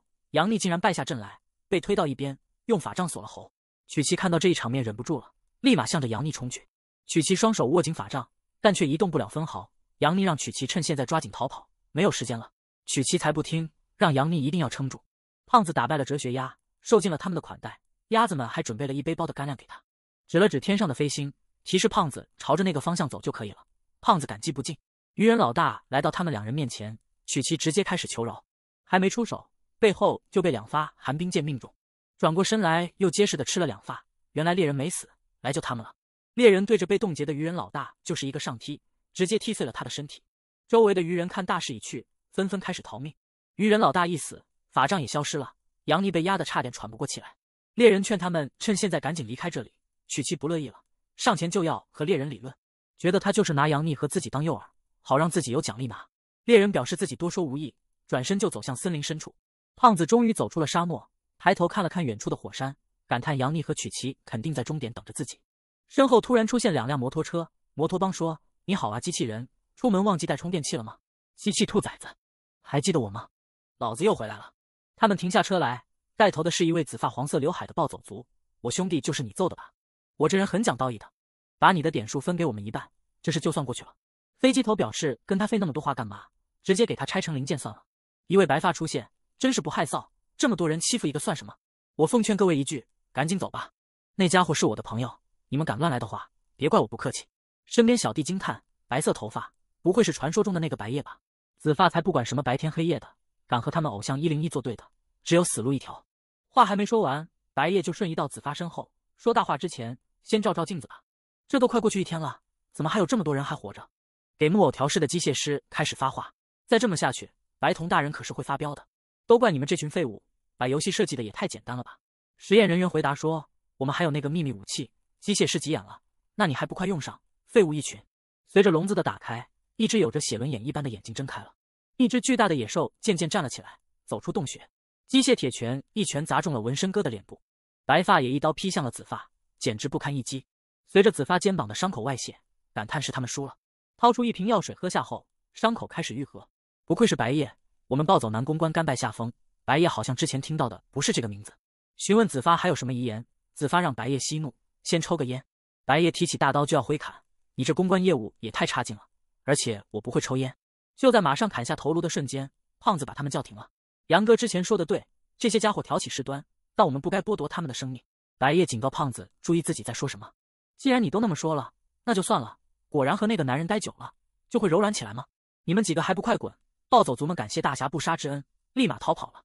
胖子把自己进入游戏的经过和白夜讲述了一番，质疑白夜为啥来这里了。白夜表示自己说来话长，因为卷入麻烦的事情，只能在游戏里暂时避避风头。倒是胖子的机械手能飞，为啥不飞去终点？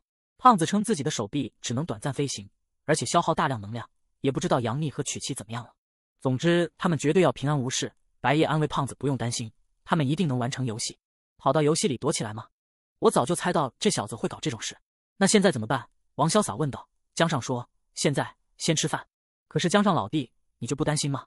稍安勿躁，我已经派人去抓了，等游戏结束去拿回我们的东西就行。还要来这种鬼地方抓这小子？被派出的喽啰十分不耐烦。杨幂二人找了一处地方休息，自己不知不觉来到弥留之地已经很多天了，也不知道爷爷他怎么样了。杨幂回想起生前的记忆。你爷爷的病情很不乐观啊，患者能活下来的几率可以说是微乎其微。一回头，又出现一个杀手，一刀捅死了自己。杨幂猛地一睁眼，才发现是一场梦。曲奇也不见了，就开始四处搜寻曲奇的踪影。边上传来沙沙的响声，便探头望去，竟然是刚才走掉的猎人妹子在洗澡。杨幂拔腿就跑，感叹怎么会在这里遇到她？没有被发现吧？荒郊野岭的多不安全啊！要不再回去看看？他立马给自己来了一巴掌，对自己的这个龌龊想法感到愧疚。边上曲奇刚采集完食物回来，见到杨幂这样打自己，问他没事吧？杨幂表示自己只是早上起来活动一下，千真万确。曲奇没有多在意，表示吃完水果抓紧上路，还要翻越一座大山。昨天那些人鱼的点数最多能撑到明天上午，要多打点小怪补充点数。杨幂只想着刚才的事情。曲奇一把横在杨幂面前，质疑杨幂从早上就一直心不在焉的，到底在想什么？是不是有事情瞒着自己？杨幂怎么会把自己偷看洗澡的事情说出来？便说没事，只是没睡好才这样的。身后突然跃出一个黑影，为什么是我？我好惨啊！飞出的黑影满身伤口，悲惨的大叫着。杨幂与曲奇迅速趴下，观察着情况。机械师那边释放的野兽已经来到了游戏里，杨丽感叹：“这又是哪路神仙？刚才那人就是被这野兽打飞的吗？一定要尽量避开这个家伙，要是被来一爪子，估计就和那人一样了。”哟，boys，一位蓝发海盗帽的男子出现，让这只大猫见识见识，我们可回收海盗的实力。垃圾填埋铁拳，绿色环保捕鲸网，手持船锚的海盗一跃而起，是我无污染葬送斩。野兽瞬间挣开束缚，冲着海盗张开血盆大口，不出意外，化成了一地的糖果。其余的海盗们看作战失败，拔腿就跑。野兽被海盗们吸引了，朝着森林深处跑去。胖子和白夜听到了海盗们搞出的动静，白夜觉得估计是个很难缠的魔物吧。胖子又担心杨丽和曲奇不会在那边吧。白夜驳回了，应该不会。杨丽算是一个比较冷静的人，绝不会参加这种危险的事情。杨丽这边还在躲避着野兽的搜寻，脚底却传来动静。刚才被袭击的人还没死，大声向杨丽呼救。野兽瞬间就锁定了他们几人的所在处，这下不就坏事了吗？野兽来到他们二人面前，闻了一闻。杨幂猜测他好像不会攻击不动的人，似乎变得温顺了。脚底半死不活的人又开始求救：“求求你别吃我！”野兽察觉到动静后，立马抬起前爪，狠狠地向着杨幂二人拍去。他们只好向着树林中跑去。他们的步伐哪里赶得上野兽的一跃？轻松来到面前，他们只好再往回头跑。野兽正准备再次用爪子攻击，前爪却被冰剑冻住。原来是猎人前来救场，提醒他们二人往自己这里跑。野兽可不会放过他们，吐出炽热的火球，向着他们三人飞去。猎人想到了一个办法，呼喊杨幂举起盾牌，火球在杨幂身旁爆炸。别傻站在那里了，就是现在！他只好举起盾牌。猎人顺势一发冰箭射了上去，经过弹射，冰箭直接冻住了野兽的血盆大口。野兽一时半会儿还自己弄不下来，转身就逃离了战场。结束了战斗。杨幂二人终于可以休息一会儿了。猎人又救了他们一次，提议这回还要一起走吗？刚才的那个生物叫做狮鳌，在我们的世界里，狮獒是一种很温顺的动物。不知道刚才那只为什么异常凶猛？猎人说，弥留之地不止收容地球人，其他时空的精灵也会来到这里。怪不得经常在黄泉街看到奇怪的人。随后开始正式介绍他们自己。曲奇还在为之前的事生气。猎人说自己名叫燕子。他们几人发现了一个茅草屋，打算去里面避避雨。另外一边。一名男子正在和敌人交战，打得不可开交。我们与你无冤无仇，为何还要赶尽杀绝？是老师派出的喽啰追来了这里，求你们大发慈悲，我把时间分给你们一半。仔细看，见过这小子吗？杨幂几人进入了茅草屋，就发现了惊人的一幕：里面几个人都被石化了。这难道是什么邪恶仪式的现场吗？桌子上摆的是什么神像？怎么会出现在这里？就在这时，门又自己砰的一声关上了。杨幂有种不好的预感，大事不妙了。胖子和白夜一直在赶路。他们二人的干粮所剩不多了。白夜说：“再歇会儿，不管这雨停不停，我们都得上路了。你们昨天不是说要开一家店铺吗？那你没有想过开家什么店吗？那当然是开家料理店。那每天都有好吃的了。你想加入我们吗？没有九九六，也没有乱加班。”小喽啰突然出现在手中，开始形成一个紫色的能量弹。去死吧，死白毛！胖子被气坏了。不要在两个男人推心置腹的时候瞎特么打断。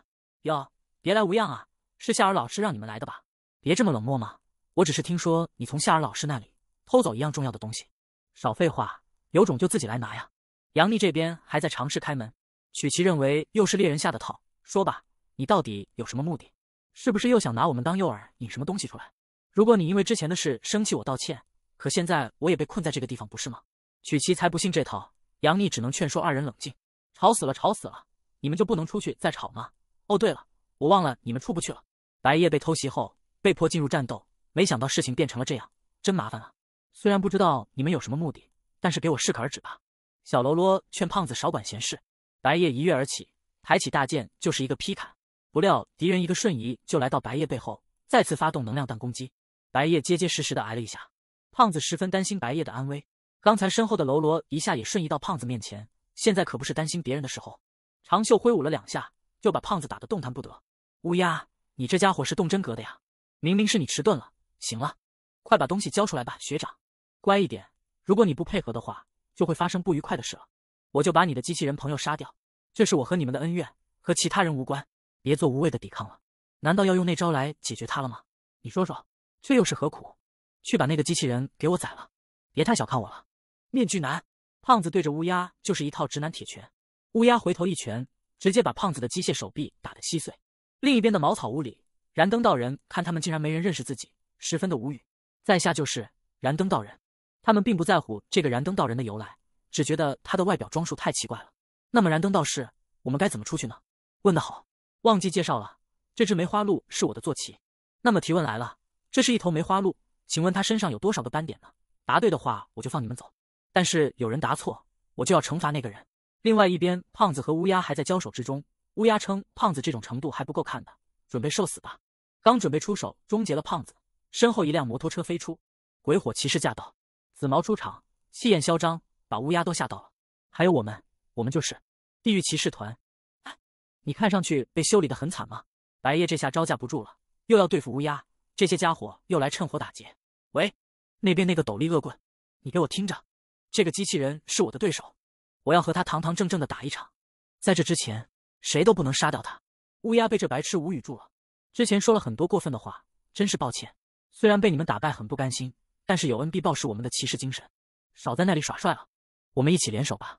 那好吧，骑士所至，战无不胜。白夜小哥，这个斗笠男就交给你了。我和骑士团负责那两个怪家伙。看来命运注定要你我决一死战了，亲手撕碎你这叛徒，我求之不得呢。好啊，来试试看吧。杨丽几人还在茅草屋里数斑点，三十七、三十八。等一下，刚才这个好像数过了吧？还没数完吗？被你打断了，我忘记数到多少了。一共是四十七个斑点。哎呦，这么快？确定是四十七吗？没错，一个斑点都不差。四十七个，大错特错哦！回答错误之后，曲奇的身体开始石化。喂，燃灯，你这是什么意思？这就是我说的惩罚呀！杨逆，救救我！卧槽，怎么办？怎么办？等下，那个是尾巴下面还有一个斑点。我知道了，一共四十八个斑点。回答错误。说完，杨幂的身体也开始石化了。曲奇绝望了，杨幂也答错了，这下要完了，根本就没有正确答案。你在耍我们？燕子拉开弓箭就准备攻击燃灯，燃灯却说他是神仙，是杀不死的，而且神仙是不会说谎的。这算哪门子神仙啊？等等，我想起来了，答案是只有一个斑点。森林里，骑士团赶到。帮助胖子几人一同对付乌鸦。阿基掩护我，没问题。阿爸，阿涅弥热风枪，国产瑞士军刀第三式，居然被躲开了。让我来尝尝这个。最后到我了，神龙电饭钵。回答正确，杨丽在最后时刻喊出了只有一个斑点，身体的石化解除了。看来燃灯道人没有骗人。曲奇被吓坏了，这次回去要多敷点面膜补补水。这到底是怎么一回事？梅花鹿的皮毛实际上是白色为底色，整个棕色的部分才是斑点。bingo，完全正确。下次我要想一些更难的谜题。你们现在可以离开了。但杨幂几人不为所动。难道你们想留下来陪我？你刚才说神仙不会说谎的，对吧？那我问你，我们拼了命的来玩这些破游戏，收集扑克牌，真有人收集了五十四张离开了这里吗？曲奇让杨幂不要多嘴，抓紧离开比较好。曾经是有人集齐过卡牌，他本来是有机会重返人间的。至于这其中的真相，还要你自己来解开。说完，道人化作灯火消失了。杨幂听得百思不得其解。说话说一半，算什么神仙？森林之中，白夜和胖子中了乌鸦的埋伏，纵使自己的手被打废了，胖子也没有放弃，继续与敌人战斗。你少了只胳膊，反而更能打了吗？另一边，紫毛赶来救援，打得不可开交，没想到对面吃了两次电饭锅，居然还能活着。傀儡交战半天之后，也就只破了点衣服，轻蔑一笑：“你们只有这种程度而已吗？”小弟们的物理伤害对他都无效，他们只能硬着头皮上了。每个人都在各司其职，对付着自己的敌人。乌鸦趁此机会使出阴兵借道，白夜又使出恶鬼退避，同门师兄完全破不了招啊！你太大意了，就由我来替案头清理门户。乌鸦发动灵能斩，狠狠地劈在白夜的胳膊上，他的胳膊开始金光闪烁。白夜怒了，你也闹够了吧？都快死了，还在嘴硬啊！白夜，胖子也察觉出白夜小哥那边情况不妙，喽啰根本不给喘息的机会，别在那里东张西望了。无从无量动来，关心得道，乃至虚无。这个口诀是。那就让痛苦来得更猛烈些好了。乌鸦被吓坏了，这不可能！念完口诀后，白夜的本命解放了，展现出了自己的完全体。来做个了断吧，乌鸦。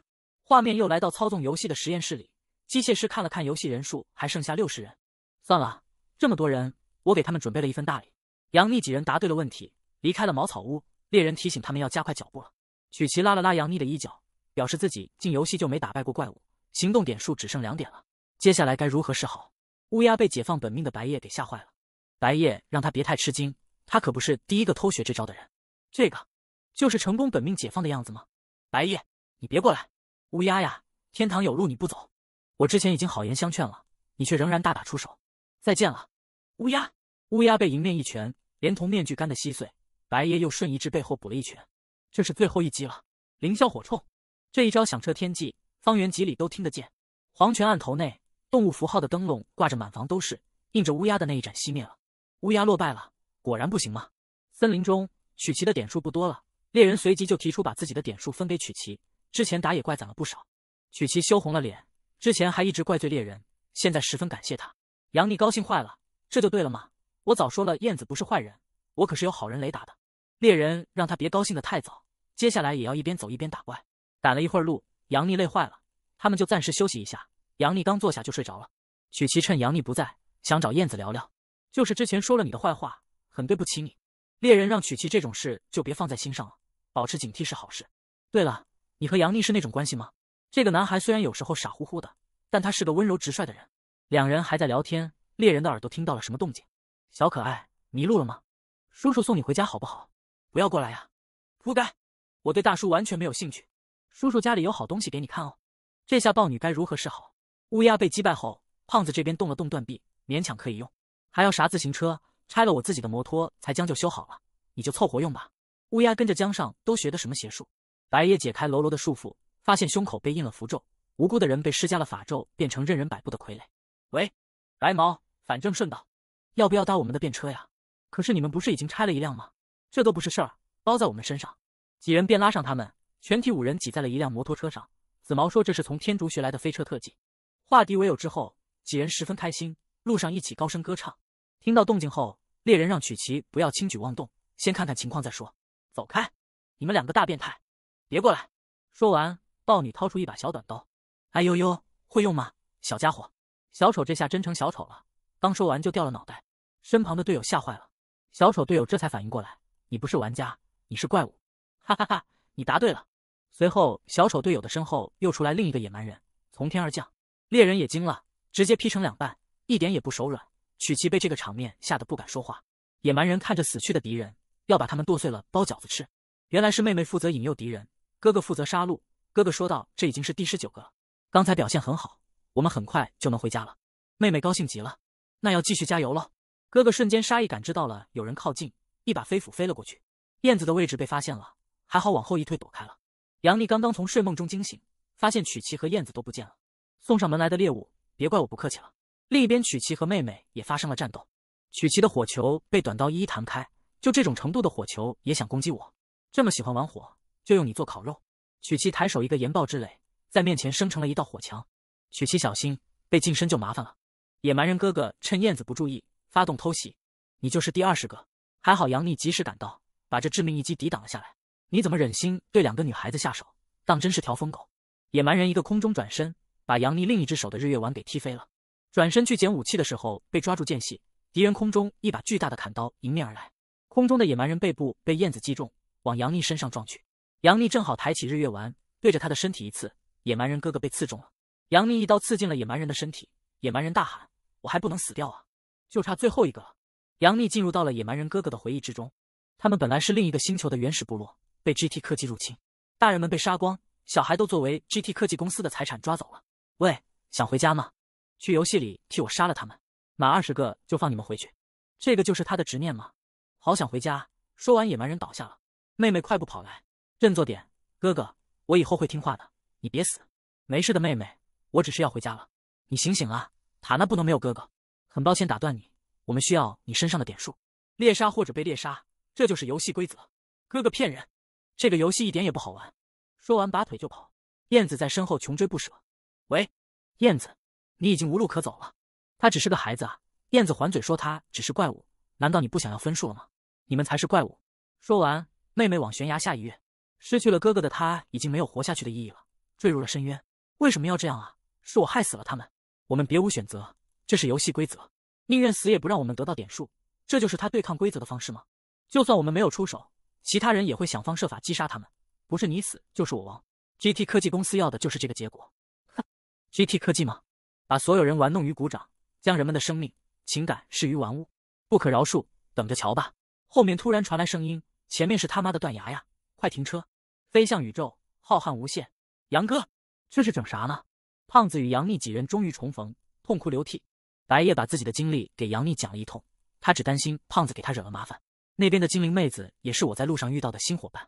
我们这么多人，只有一辆摩托车，会不会太挤了？交给我。白夜看他这表情就知道，紫毛又在心里打什么鬼主意。不过杨幂看了看剩下的路也没多远，直接步行好了。白夜这才松了口气。杨幂的队伍更加壮大了，他们充满信心，向着山顶走去。画面来到紫袍所在之处，白瞳，那孩子现在怎么样了？杨幂的继承似乎觉醒了二阶段，不，不是他，我是说另一个。您说的是那个孩子啊？他已经觉醒了掠夺的本命，而且现在表现的非常出色。他参加的游戏基本上都是第一名。这孩子会把所有障碍全部杀死，我们应该多培养他一下。至于这个杨幂，一切都是注定的，我们只需要等待。还有，替我看着他们俩。几人终于来到火山山顶。对了，白夜，你对这个 GT 科技公司了解多少？略知一二吧。不过等一下，你怎么对这个感兴趣了？杨丽发现这个世界和 GT 科技有着莫名的联系，她实在搞不懂他们为何要设计这些游戏。白夜说：“这是皇权领主在创世之时就建立的机构，靠着他的神力一手打造出来的。他们拥有来自其他时空的科技力量和各个异世界的超自然法力。”杨幂现在都在怀疑，他们究竟有没有机会离开这里。老实说，我也没见过有人真的离开弥留之地。尽量还是不要和这 GT 科技扯上关系为好。有人过来了，觉悟吧，战术斯巴达！一群敌人跳了出来，没想到在这里还能遇上其他玩家，哈哈哈！白痴！螳螂捕蝉，黄雀在后。又一队人出现了，怎么一下子变得这么热闹了？鹬蚌相争，渔翁得利。再次登场，一群忍者。突然出现的敌人接二连三，乱作一团，大家都聚一块了。马三有把握吗？胖子说自己胳膊没断的话还行。你们这帮白痴，这都什么时候了？爬上山之后，大家就能完成游戏了。GT 科技那帮家伙就是想让我们自相残杀。如果我们在这里大打出手的话，那不就正中下怀了吗？我不喜欢 GT 科技。我也不喜欢那帮自大的家伙，说不定那些白痴正在某个地方观察着我们。我们能走到这里已经很不容易了，终点就在眼前了。实验室内，机械师问大家：“听到那个声音了吗？知道这个游戏最美妙的是什么吗？那是种转瞬即逝的感觉。快听，那感觉就在耳边。呃，好像什么都没有啊。闭上眼睛，静下心来去感受。山顶几人的纷争化解之后，一同赶往山顶的出口。这几天的经历真是神奇，竟然活了下来。最重要的是遇到了好多志同道合的伙伴。胖子提议回去之后大家一起去吃烧烤，比如齐齐哈尔 barbecue 什么的。猎人让杨妮回去之后要记得升级能力。说完脚底一滑，往后面倒去。杨妮正好接住，你看吧，我已经变强了！开个大机器人还真是威风啊！这算什么？等我存够时间就搞一台坦克。白发心想，游戏结束后还得对付案头的人。实验室中的机械师按下按钮，你们听呢，就是这个声音，整个乐章。最后的高潮，按钮按下之后，山顶的火山喷发了。杨幂提醒大家快往终点跑，最激动人心的部分就要开始演奏了。你们不知道我每次等到这个时刻有多快乐。爆炸随着音乐声响起，杨幂让大家分散，不要待在一起。燕子也觉得必须要分开跑，你自己小心。我们终点见。刚说完，一颗巨大的面具状火山石落下，砸中了燕子。杨丽直接泪洒现场，说不出话来。胖子看见杨丽在石头面前不肯走，劝说她抓紧离开，快走啊！傻叉！杨丽脱下衣服，挣开束缚，又冲了回去。白夜也来帮忙劝说：“你给我醒一醒，他已经死了，没救了。”其他的人已经到了终点，开始招呼他们赶紧过来。没有办法，杨丽还处于失去队友的伤痛之中，白夜只好带着他冲往终点。听得见吗？还记得吗？那个声音。当一切归于平静，我还记得他的声音，却记不清他的样子和他没诉说完的故事。几小时后，几人回到了黄泉大街。紫毛喝得酩酊大醉，开始胡言乱语。有话怎么说来着？大难不死，必有重谢。杨幂还处在失去队友的伤痛中，白夜好想帮他做点什么，但这种事还是要他自己走出来才行。耶。胖子一开始就想问白夜了，我没看错的话，你之前是解放了本命没错吧？花时间也是一点不手软。这种实力再加上和黄泉案头的联系，我怎么想都不对劲啊！你究竟是什么来头？白夜承认自己曾经是黄泉案头的一员，但现在已经退出了。那些人拿着不属于他们的东西，而他做的只是把那东西交给了对的人罢了。等到了对的时间，他会毫无保留的全盘托出，请大家相信他。编，这小子满嘴谎话，你们可别上当了。王潇洒带着一大堆人进来了，把他乖乖交给我们处理就好了。把这个叛徒拿下。这位客人，请您不要打扰其他人用餐。阿金老板发话了，如果让别的客人感到困扰，我是绝对不允许的。你又是哪根葱啊？王潇洒毫不在意，竟敢和我黄泉案头作对，兄弟们给我扁他，去死吧！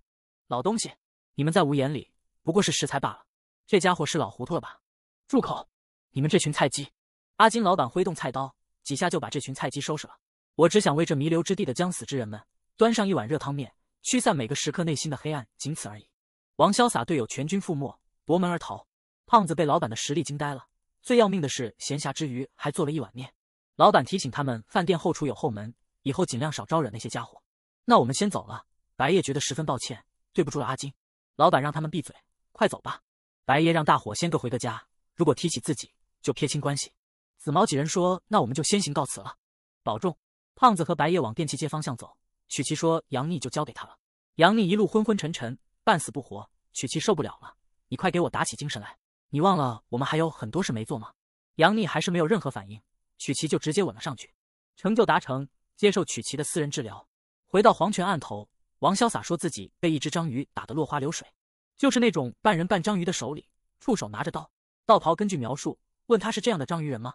总之那家伙是个很可怕的对手。夏尔老师感叹：黄泉街上还有这样的家伙吗？真是伤脑筋。老朱，你去查查这个厨子，我倒要看看。又让白夜跑了。本来很简单的一件事啊，让你们越办越麻烦。黄泉大街的广告牌正在播送广告，还在为自己不够强大、不够持久而担心吗？这种事情就交给我们的新产品——全新一代战斗功能饮料劲爆上市。杨幂被曲奇的一吻给惊醒了。曲奇听说治疗人最好的办法就是再刺激一下。杨幂说自己只是在那一瞬间觉得自己好像还活着，所以说。刚才是为了治疗的人工呼吸吗？曲奇不知道该怎么说了，一半是想要让你快点恢复过来吧，另一半，总之你好起来就好了。能来到弥留之地的都已是人间失格，我们所能做的就是努力保持着自己还是人类时的那些特质。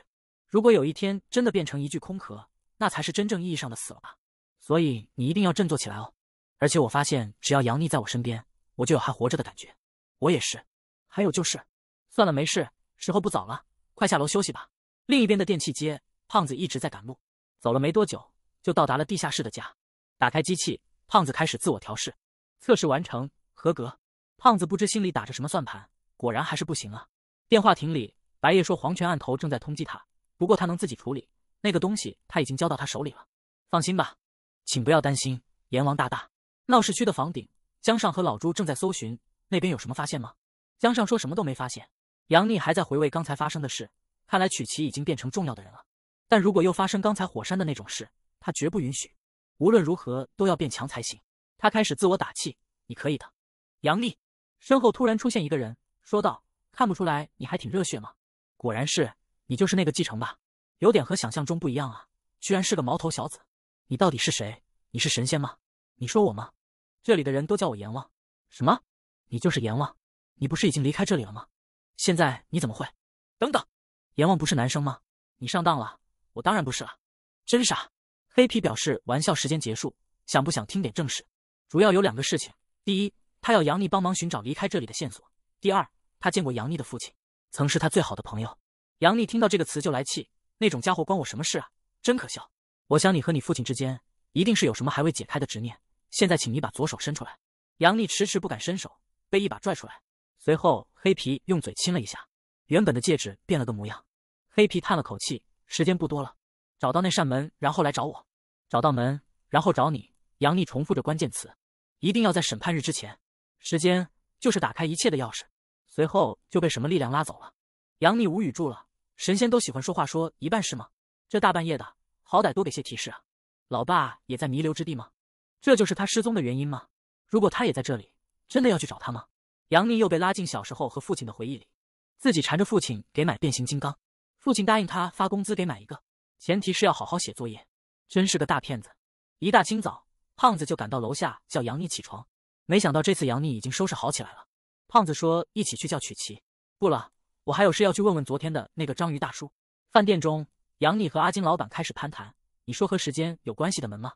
是的，您在弥留之地待的时间一定很长，所以想跟您打听一下。虽然我在这里待了很久，但你说的那个门我好像没什么印象啊。我只依稀记得。据说阎王失踪，好像就是因为他去找什么奇怪的门。那能请你讲一讲关于阎王的事吗？哪怕是传言也好。好吧，既然你这么感兴趣，准备好听故事了吗？很久以前，弥留之地和现在截然不同，到处是残垣断壁和漫无目的四处乱晃的将死之人，没办法真正的死去，也无法往生。而在这片废墟之中，矗立着一栋钢铁堡垒，没错，就是 GT 公司。创建它的就是黄泉之主，也是创造这个世界的人，一个来自其他宇宙的外神。没人知道他的过去。也不知道他的动机。黄泉领主用自己的神力收集来了各个时空中的科技力量，同时也吸收着各个世界的将死之人，让他们参加他的游戏，赢了拿走奖励和卡牌，输了就被彻底抹除。简单粗暴的游戏规则吸引着人们，最重要的是，只要收集五十四张就可以复活。一时间，大家为了争夺卡牌，互相大打出手，弥留之地也一度陷入混乱与黑暗。突然有一天，他来了，我警告你啊，再跟这晃悠我就灭了你！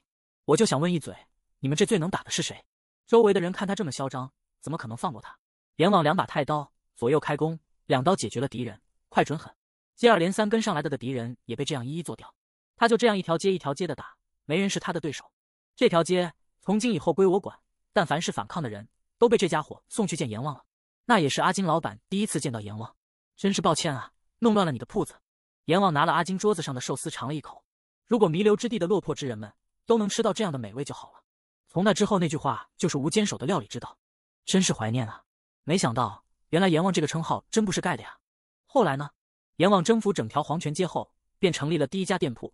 他希望将死之人们可以团结在一起，至少在游戏之外就不要再拉帮结派，互相仇视。但是好景不长，就在阎王收集到最后一张大王之后便不知去向。有人说，就在他接触到最后一张卡牌，于是离开复活了。但是我听到的是另一个版本：阎王为了打开那扇门，就去寻找钥匙，从此音信全无。阎王在找的钥匙，该不会就是……饭店外传来骂声：“马三，你要是再用无人机偷看我，我就再也不理你了。”曲奇十分愤怒：“金大叔。”杨丽在这里吃饭吗？你们来迟了一步啊！他刚走，还让我转告你们去时间银行的强化去找他，恢复稍微强化一下，组织强度和反应速度也升级到一个比较可观的强度，这样再配合体术和我的刀爪，应该行得通。必须要像阎王那样强。曲奇很生气，你怎么这么着急跑来这里强化？听阿金说你都没顾上吃饭，来看着我的眼睛，你是不是有事瞒着我们呢？说啥呢？怎么会？切，检测到你的血压和心率上升。呼吸频率也在升，你如果不是对我马三有意思，那就是在说谎。杨幂眼看瞒不过，就把昨晚那个黑皮妹子的事交代了一遍。在搞清这件事之前，我不想把大家牵扯进来。曲奇问杨幂：“昨晚那个女生好看吗？大晚上的忙活啥呢？”胖子还在持续助攻，杨哥的心率、血压和体温都在飙升哦。然后今天早上我就跑去问了金大叔关于那扇门的事情。我倒是知道一个人，搞不好他会知道你说的那扇门的事。回收站里，一位白发先生正在忙活着什么。胖子来到博士身后，博士满眼只有机械手臂的工艺问题。博士，是我马三啊，我什么都不知道啊，千万别杀我，我的心脏。说完，博士就笔直的躺地了，这就死了。杨丽被吓坏了。胖子说没事的，习惯就好。检测到灵魂指标正在下降，回魂除颤器正在启动。几秒钟后，伴随着电击声响起，博士复苏了。胖子扶起博士，问他不要紧吧？博士这下终于认出了胖子，实在不好意思让你们见笑了。燕博士可是个很牛批的人物，曾经是阎王的机械臂维护师呢。那都是过去的陈年往事了，而且我也只是个修东西的。燕博士，你知道关于阎王失踪前在寻找的那扇门的事情吗？不好意思，我对此事一无所知，连燕博士也不知道啊。难道说线索就要断在这里了吗？警报声突然响起，注意，侦测到超负荷时间流量，不可能，绝对不可能！我的实验室怎么会有那种东西？马三，是你带进来奇怪的东西了吗？会不会是这个的缘故啊？杨丽掏出之前白夜给她的蓝色沙漏，白夜，是啊，白夜，你手里那只巨石沙漏是用来封印时间的一件道具。这个沙漏里装着这么大体量的时间，如果我没有猜错，这里面是属于阎王的一部分时间。杨丽，曲奇提醒他快用本命继承一下，不是我要泼你们冷水，就凭你们是绝对不可能打开沙漏的封印。他印象中唯一一个能解开巨石封印法术的人，他现在应该在极乐世界吧？警报，二号实验动力系统失效，实验终止。我要去忙了，你们自己随便做吧。他们几人离开了博士住处，白夜回到家中。我回来了，想我了吧？波波有没有好好看家呀？给你留的饲料全都没了，这可是一个星期的量，这样太堕落了。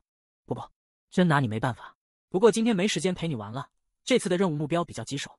嗯，目标人物是夏尔老师的话，也要稍微认真一些才行。这个漫画的男主和杨幂长得好像啊。杨幂几人来到了胖子的家中。马三，你家真的有好多漫画书？是啊。还有很多手办公仔。胖子搜了一下极乐世界这个地方，极乐世界就是指弥留之地的上城区吗？曲奇表示，在这里这么久，还从来没听说，也没见过那种地方。胖子也说，只有像燕博士那种老江湖才知道。他们立马去往饭店询问阿金老板：“极乐世界怎么着？你们几个也想去上流社会吗？”金老板开怀大笑：“如果你修炼成仙，或者有花不完的时间，就能去往极乐世界。也就是说，那里都是土豪大佬住的地方啊。极乐世界原本是皇权之主的后花园，现在只是对外开放罢了。夜晚，当你抬起头来看，其实就能看到极乐世界，那是我们难以触及的乌托邦。那我们这些普通玩家是没办法去往极乐世界的，对吗？办法当然是有。每年的祭典在极乐世界都会举办一场表演赛游戏，届时皇权之主会邀请黑桃的玩家去参加游戏。黑桃呀，那可是超级难拿到的一张牌呀！杨丽决定了，他要去参加这表演赛。说完就跑了出去。商店里几人开始购买物品，虽然不知道前面还有多少麻烦在等着我，但这次我一定要去。胖子提醒杨丽，游戏只能一个人参加，风险太大。杨丽让胖子不用担心，只有拿到黑桃才能弄明白这些事，好歹也先等发育发育再去参加。放心放心，打不了就跑，我可是主角，不会那么容易死的。曲奇不乐意了，马三，你这就让杨幂去了，我们两个就去参加一些难度简单的游戏，攒些时间等杨幂回来。太好了，可以和曲奇一起参加游戏。胖子回头一看，杨哥你怎么还在这？黑桃又不要了，嘿嘿，等你回来我们就把时间攒够，然后直接把店铺开起来。哼，我绝对会拿着黑桃回来的。当一个少年开始渴望力量的时候，就会变得奋不顾身。好像个不知天高地厚的愣头青，我们以前就是那个样子，不是吗？本次列车即将到达黄泉站，请乘客做好下车的准备。爸爸妈妈，向医生，你们在哪里啊？时间银行外，尊敬的各位玩家请注意，由于黑桃游戏无法组队，陪同玩家请留步，谢谢配合。胖子和曲奇送杨幂去参加那个所谓的黑桃游戏，曲奇千叮咛万嘱咐，千万不要勉强自己，打不过就跑。杨幂跟应付老妈子一样，不停的说知道了知道了，很抱歉。这个匹配手环无法带到这个游戏内，还没进游戏就这么严格了。杨丽不禁感叹。杨丽看了看 ATM 机，奖励也没啥特别的，还是跟其他游戏一样，时间加上一张黑桃。哎，他刚刚按下接受游戏，机器里出来三只触手，把他整个人抓住，抓进游戏后扔到了一片水中。杨丽的眼前出现了燕子的幻影，但转身就离开了。他想抓都抓不住。没过多久，又溺水昏了过去。曲奇十分担心杨丽的安危，胖子只想着怎么在曲奇面前好好表现一番。幻想着突然出现一群小混混拦路打劫，自己挡在曲奇的面前，自己三拳两脚就把他们收拾了。曲奇感恩戴德，十分感谢胖子马三大人，你好有男子气概哦，我就喜欢你这种类型的男孩子。胖子一想到这个画面，开心的眼泪都流出来了。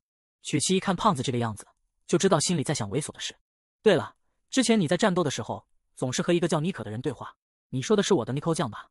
他是我的辅助系统，会帮我处理分析一些我搞不定的情况。不过他的声音只在我的脑海中，你们是听不到的。妮蔻可是萝莉音哦，我还想象过他的样子，是不是很有当漫画家的潜力？马三，我们去买一些治疗道具，然后去参加游戏吧。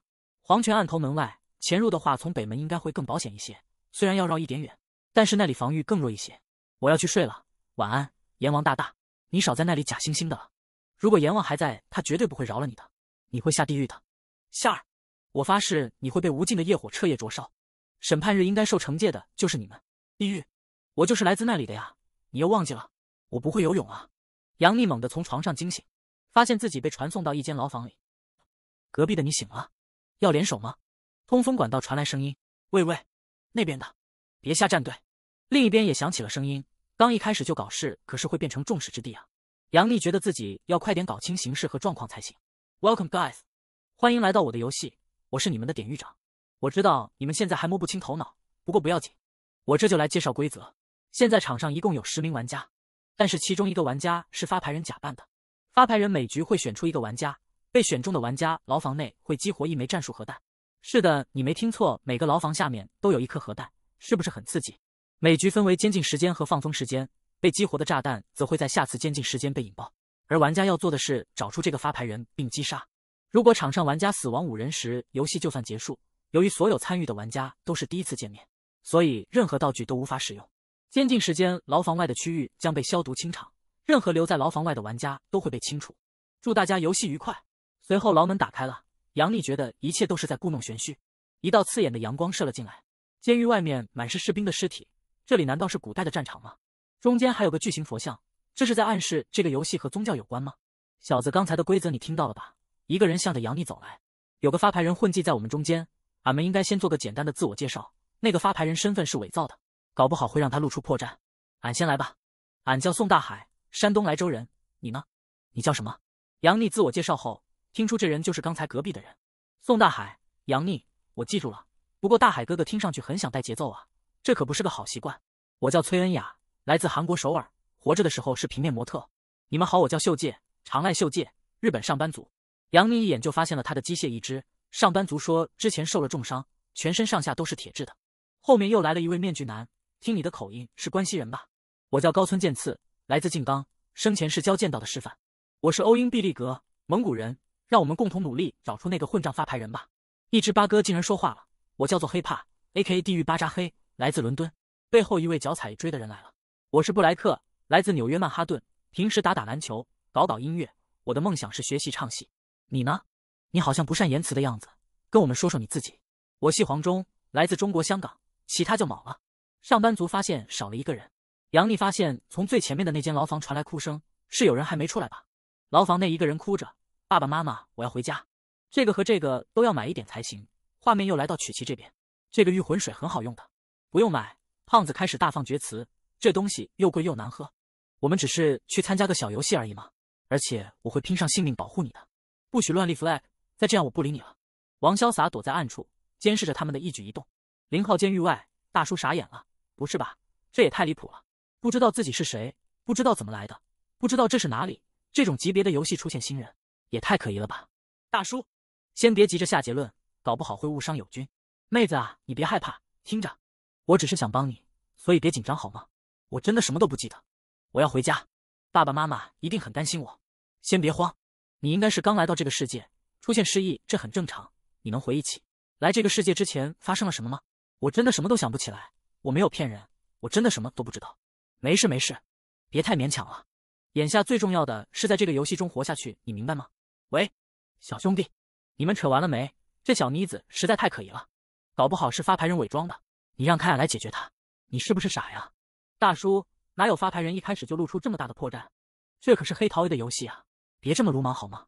这时候就要杀伐果断，如果犹豫不决，怎么才能找出发牌人？哪怕搞错了，那也是替大家排除一个错误答案了。杨幂提醒大叔别忘了，一旦场上玩家阵亡五人，发牌人就赢了。这一上来就给发牌人送一分。上班族也觉得，虽然那个女孩很可疑，但是也没有决定性证据说明她就是发牌人。面具说一上来就想搞事，你怕不是叛徒吧？原来如此，是俺太莽撞了，俺接受批评。大叔诚恳道歉，我就是觉得疑点放着不管，可能会让状况变得麻烦。我想大家身上多少都会有疑点，我们正好可以利用这一点，我们就采用积分制，每个疑点算作一分。如果有人累计到三分，我们就要提防这个人了。蒙古人觉得这是个好主意，这样就有容错率了。大家要明白，这样做的目的不是让大家相互怀疑。如果我们发现一个人身上有疑点，就会发现更多的问题，反而会把水搅浑，给真正的发牌者以可乘之机。韩国妹说这叫做夷陵道府，对吧？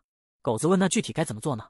希望大家可以互相观察和交流，不要害怕暴露自己的疑点，至少大家还有两次机会反驳或者证明自己。所以接下来大家多注意身边的其他玩家，应该有些特征是我们玩家一定有，而发牌者一定没有的。哦，我懂了。发牌人和我们不一样的特征啊！大叔看了看边上的八哥，八哥慌了，别用那种眼神看着我，你这是种族歧视，紧张啥呀？俺就随便看看。大叔让他放心。杨幂心想，虽然这样可以让大家参与到游戏当中，但这么做对他自己也很不利。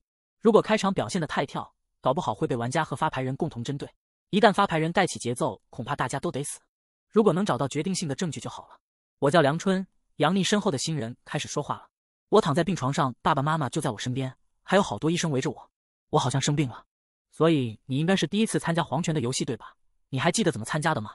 是不是被骗进来的？我想不起来，对不起。没事，我叫杨幂，如果想到什么都可以跟我讲。兴许我能帮上些什么呢？杨幂被韩国妹子打断了。那个叫黄忠的，他从一开始就不和其他人交流，就像个哑巴一样，完全不参与，就站在一边玩他的游戏机。虽然也没什么，但是我还是想提醒你多留意一下这个人。多谢你的情报，我会注意的。在找出决定性的疑点之前，先不要打草惊蛇为妙。我就是想让你知道，我是站你这边的哦。韩国妹子开始套近乎，小妹妹，别害怕哦，姐姐奶你。画面一转，白夜带着波波潜入进了黄泉暗头。夏儿，我来了。警告，距离放风时间结束还有三十秒，囚犯立刻回到自己的牢房，并对中央广场进行消毒。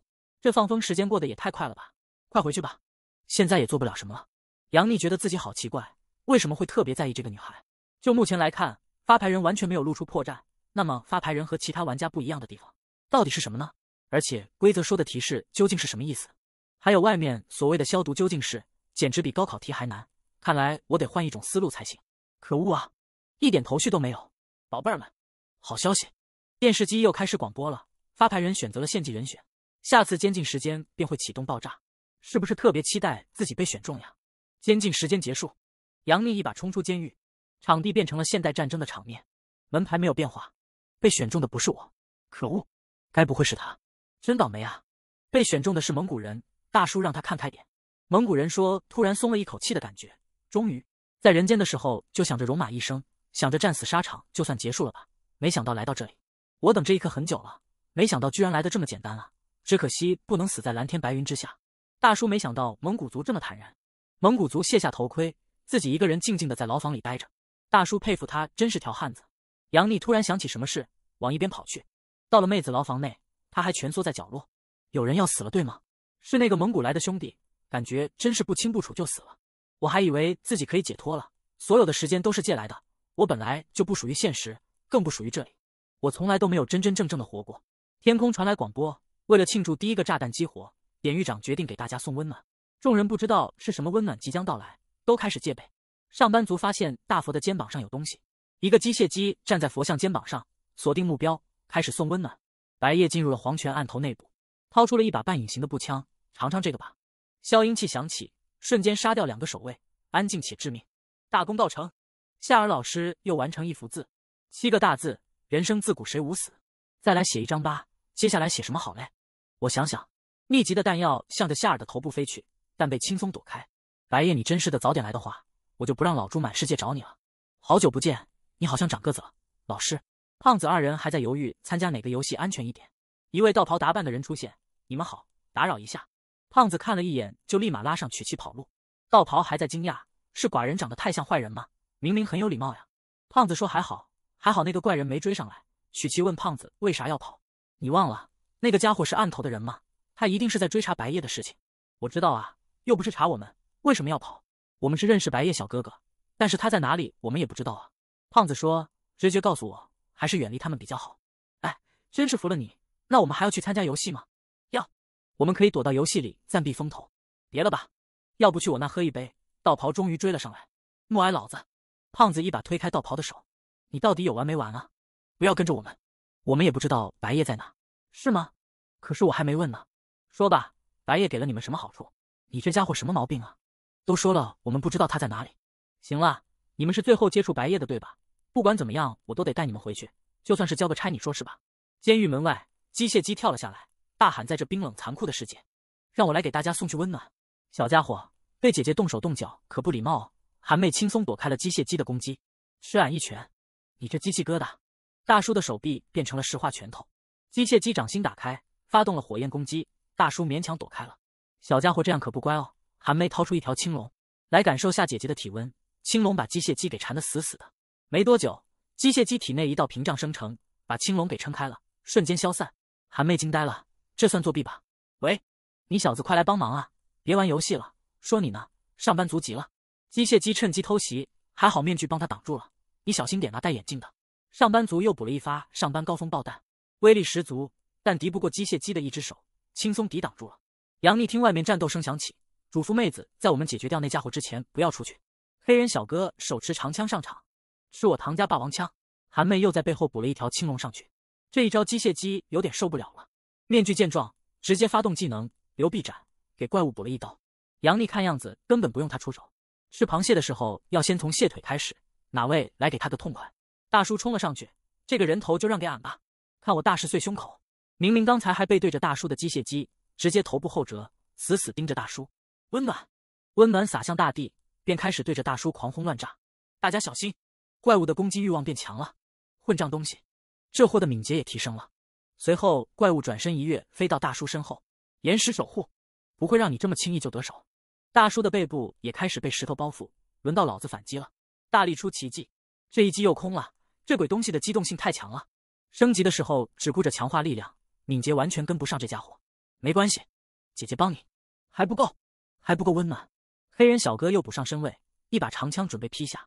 机械姬反应了过来，发动激光眼，却被一发青龙给击中了。杨幂手持日月丸插入他的身体，造成致命一击。快闭嘴吧你！黑人小哥质疑这条龙不是韩国妹的招数吗？为什么杨幂也可以使用出来？我的琉璃本命不仅能输出伤害，还可以释放在友方身上，暂时附加我的敏捷属性。哎，这孩子居然能将我的能力吸收，融入到自己的武器上。你在这温暖尼玛呢？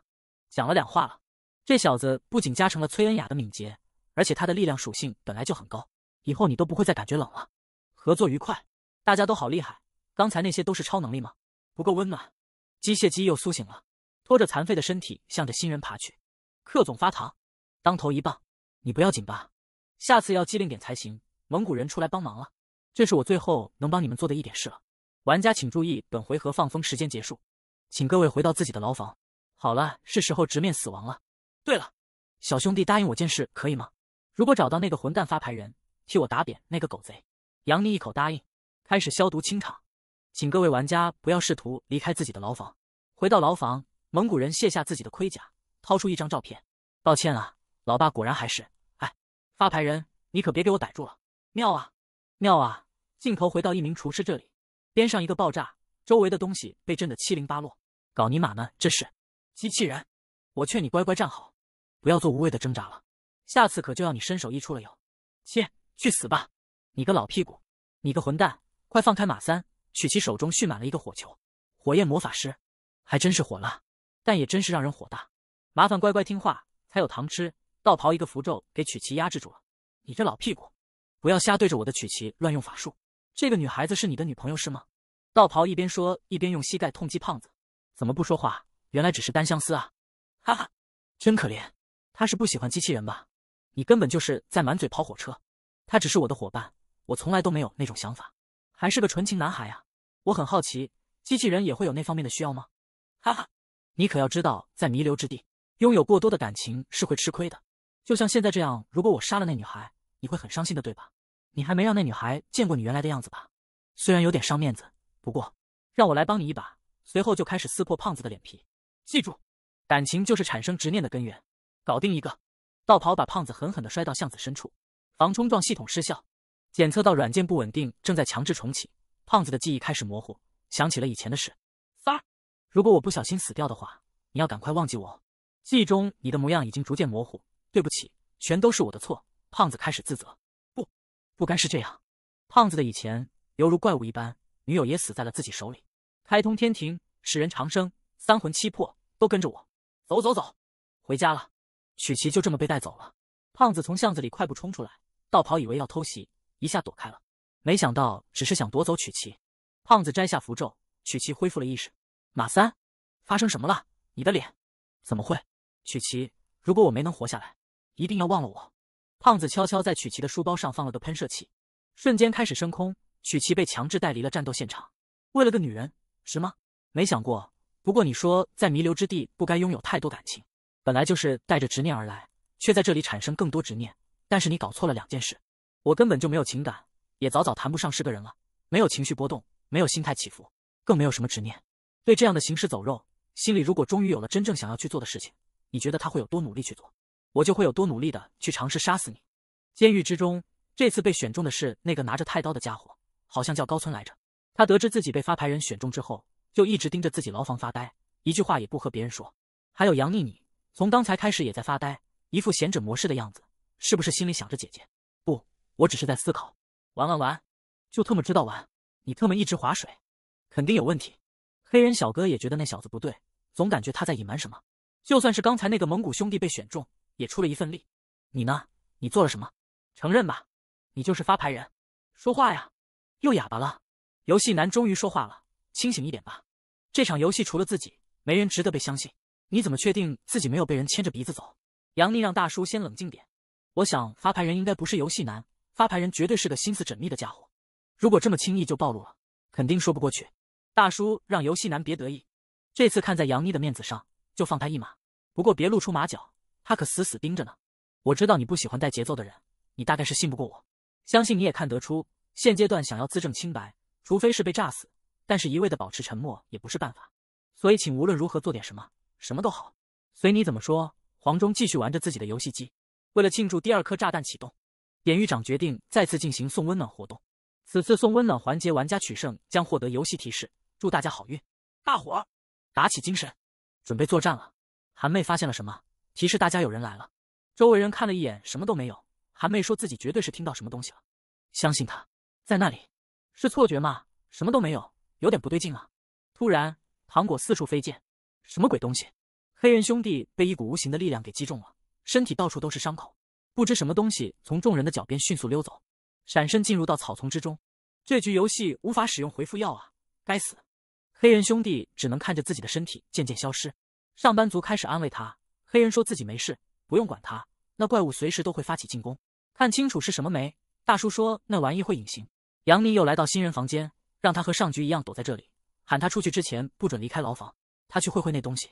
此时隐形的怪物已经锁定了房间中的二人，还好杨幂的盾牌生成。挡下了这一攻击，真是狗贼！这东西怎么神出鬼没的？大家当心，这东西攻击力度不强，这是在试探，还没真正发起攻击。突然，地面产生了雾霾。喂喂，大家快向我靠拢！杨幂把大家聚集起来，说自己想到了对策。韩妹看大叔还在愣神，把他也叫了过来。被点名的高村说：“伤员交给他来处理，你们多加小心。”黄忠在角落里站着，他有种不好的预感。大家尽量以后面的墙壁作为底线，把自己的朝向守好。雾越来越大了，韩妹能感觉到怪物就在迷雾之中。杨幂几人的状况可以说是劣势中的劣势，还不发起进攻吗？他好像在消磨我们的耐心。八哥吓坏了，慌的一匹。杨幂让大家一定要沉住气，一旦松懈或者焦躁起来，就会露出破绽。那东西故意在和我们耗。要是我们现在满员的话，说不定可以和这鬼东西硬碰硬。可是目前牺牲一个伤一个，还有一个不战斗。大叔觉得一切按杨幂的指示就好，这玩意还真有耐性。刚说完，大叔的手臂就狠狠地劈了一刀。还好他是石头做的。说啥来着？朝巴东西，老子的麒麟臂你打得动吗？尝尝这沙包大的拳头。但大叔什么都没摸到，打完就溜。有没有点男子气概？出来单挑。喂，你跟怪物讲什么道理啊？这就是这个怪物送温暖的方式吗？我感觉这货根本就是在戏弄我们，而且他还很享受的样子。八哥心想自己太菜了，没有牛逼的本命帮助到大家。但他忽然闻到了怪物的气味，一口咬住了隐身的他。杨丽发现黑怕咬住了隐形怪物，但立马被拍了下来。黑怕说：“这已经是自己的极限了。那么可爱的小狗狗，你怎么下得去手？”上班族向着黑怕摔下来的地方发动攻击，尝尝工作压力追踪导弹的滋味。怪物的反应十分灵敏，在炮火中行动自如。刚才多谢黑怕了，他没事吧？黑怕说：“当然没事。”怪物又转向韩妹，还好韩妹反应灵敏，仅仅是大衣被劈烂了。杨幂察觉到，如果说黑怕可以通过嗅觉来预判，再加上韩妹的敏捷。好像是个可行的办法。韩妹看到那个怪物好像是个蜈蚣一样，杨幂需要大家稍微帮他一下，尤其是黑怕，这次就靠你了。胖子和道袍还在激烈交战，胖子还是无法认同道袍之前说的那些，还这么固执啊，小朋友，看来只能把你拆掉打包带走了。黄泉案头一贯的手段是什么？让你丧失了人性？时间、权力，恐怕你永远也不会懂了，小朋友。身为人类的那种复杂而又微不足道的感情，在审判日的面前根本不值一提。道袍一拳直接贯穿了胖子胸口，怎么样，还站得起来吗？我忘记你是不会感觉到疼痛的，对吧？所以说你也不会感到恐惧了。突然，黄泉案头爆炸声响起，道袍看了一眼爆炸方向，是黄泉案头，不好！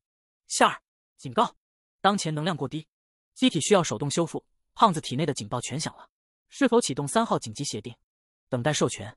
胖子，请立刻授权启动紧急协定。胖子眼前浮现了女友喂他吃饺子的场景。燃料过低，维生系统正在断开，维生系统已关闭。黄泉案头楼顶，白夜和夏尔针锋相对，这是何必呢？还没过节就搞这么大动静，对手是夏尔老师，当然要全力以赴喽。你偷拿了我的巨石沙漏，还在游戏里杀了你师弟，还记得叛徒的下场吗？背叛师祖，当斩。不过为师疼你，你把东西还回来就没事了。或者为师还有个 B 计划，要做决定就快点哦。突然，无数只手抓住白夜的腿，老师，快收手吧。你根本就不知道自己在做什么，阎王的时间不是我们应该拥有的，你这只会害了所有人。白夜挣开束缚，如果老师犯了错，就要由学生来纠正。坏坏，罢了，为师疼你。二人快步向前，大战一触即发。监狱门外，黑怕大喊：“杨幂，这样行不行得通啊？”当然没问题。皮皮狗，我们走。这边，这边。收到，收到。来了，看刀。这次在这边。杨幂在黑怕狗的帮助下，不断斩断怪物的足部。由黑怕组成头部，果然 NBA。身后的队友都夸赞杨幂这小子真机灵。怪物趁他们聊天来到杨幂身后，你来几次，我搞你几次。等下，这只有一节。怪物直接舍弃一节身体，模糊了他们的感官，从背后发动偷袭。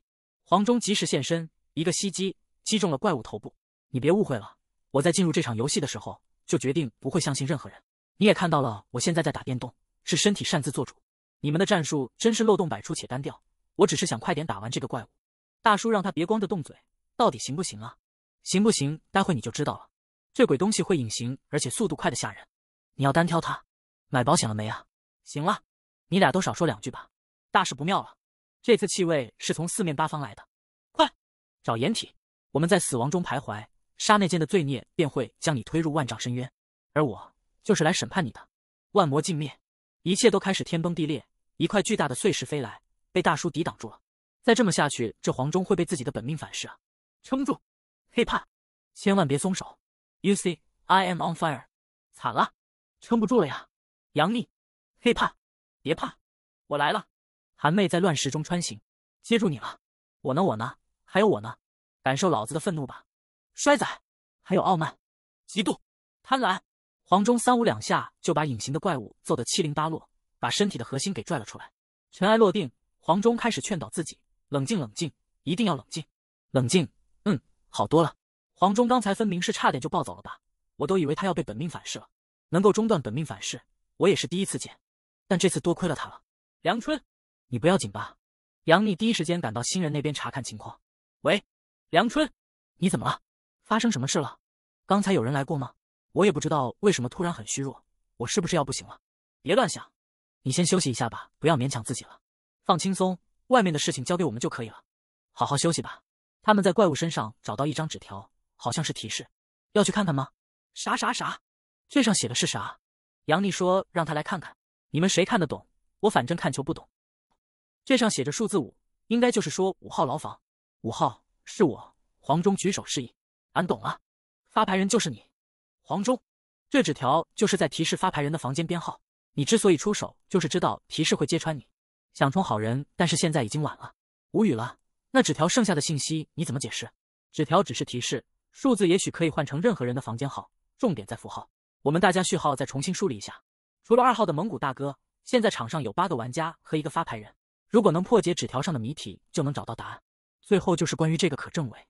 什么是可政委？为什么是可政委？黄泉大街上，曲奇带着阿金老板赶了过来。你们是在这附近被黄泉案头的人袭击了吗？黄泉案头的人已经开始出手了吗？马三，是你吗？回答我呀，马三！金大叔，快来！马三在这。监狱中，黑人询问他们是否抓出发牌人，很遗憾，并没有。提示太隐晦，大家又陷入迷茫了。高村让他别再多想，好好休息。符号、数字之间一定有什么联系吧？杨幂百思不得其解。梁春睡眼朦胧中看着杨幂的背影。感觉眼熟极了，我觉得发牌人可能自己不知道自己是发牌人。黄忠给了个观点，上班族觉得这个观点很新颖。为什么刚才不加入进来？黄忠十分不屑，要你管？俺不信，俺不服。这纸条一定有什么鬼怪，这纸条一定是经过特殊处理，只要对准阳光，我真特么服了，还真是一张普通的纸。好了好了，放风时间结束，老规矩，自觉点吧，都乖乖回到房间，准备聆听美妙的音乐吧。可恶，算上剑次老弟你。下一局再死一个的，我们就快输了。剑次突然拔剑出鞘，黑人疑惑不解。我刚刚想到了一个好主意。黄泉案头院内，小喽啰们都在看戏。夏尔老师和白夜真是难分高下呀。不，你错了，夏尔根本就是在放水。喂，出什么事啊？怎么不上去帮忙？夏尔老师不让我们插手。啊，老师在上面和谁？和白夜。你怎么还是理解不了为师的苦心呢？你刚才不是说，如果老师犯错，就该由学生来纠正吗？可恶！本命解放也到极限了。如果我的老师阎王大大，如果他也犯了错，是不是该由我来纠正呢？阎王大大就不该留你一命。傻孩子，为师是真的真的真的碍着阎王大大的了。白夜心想，不行，还要再拖一会。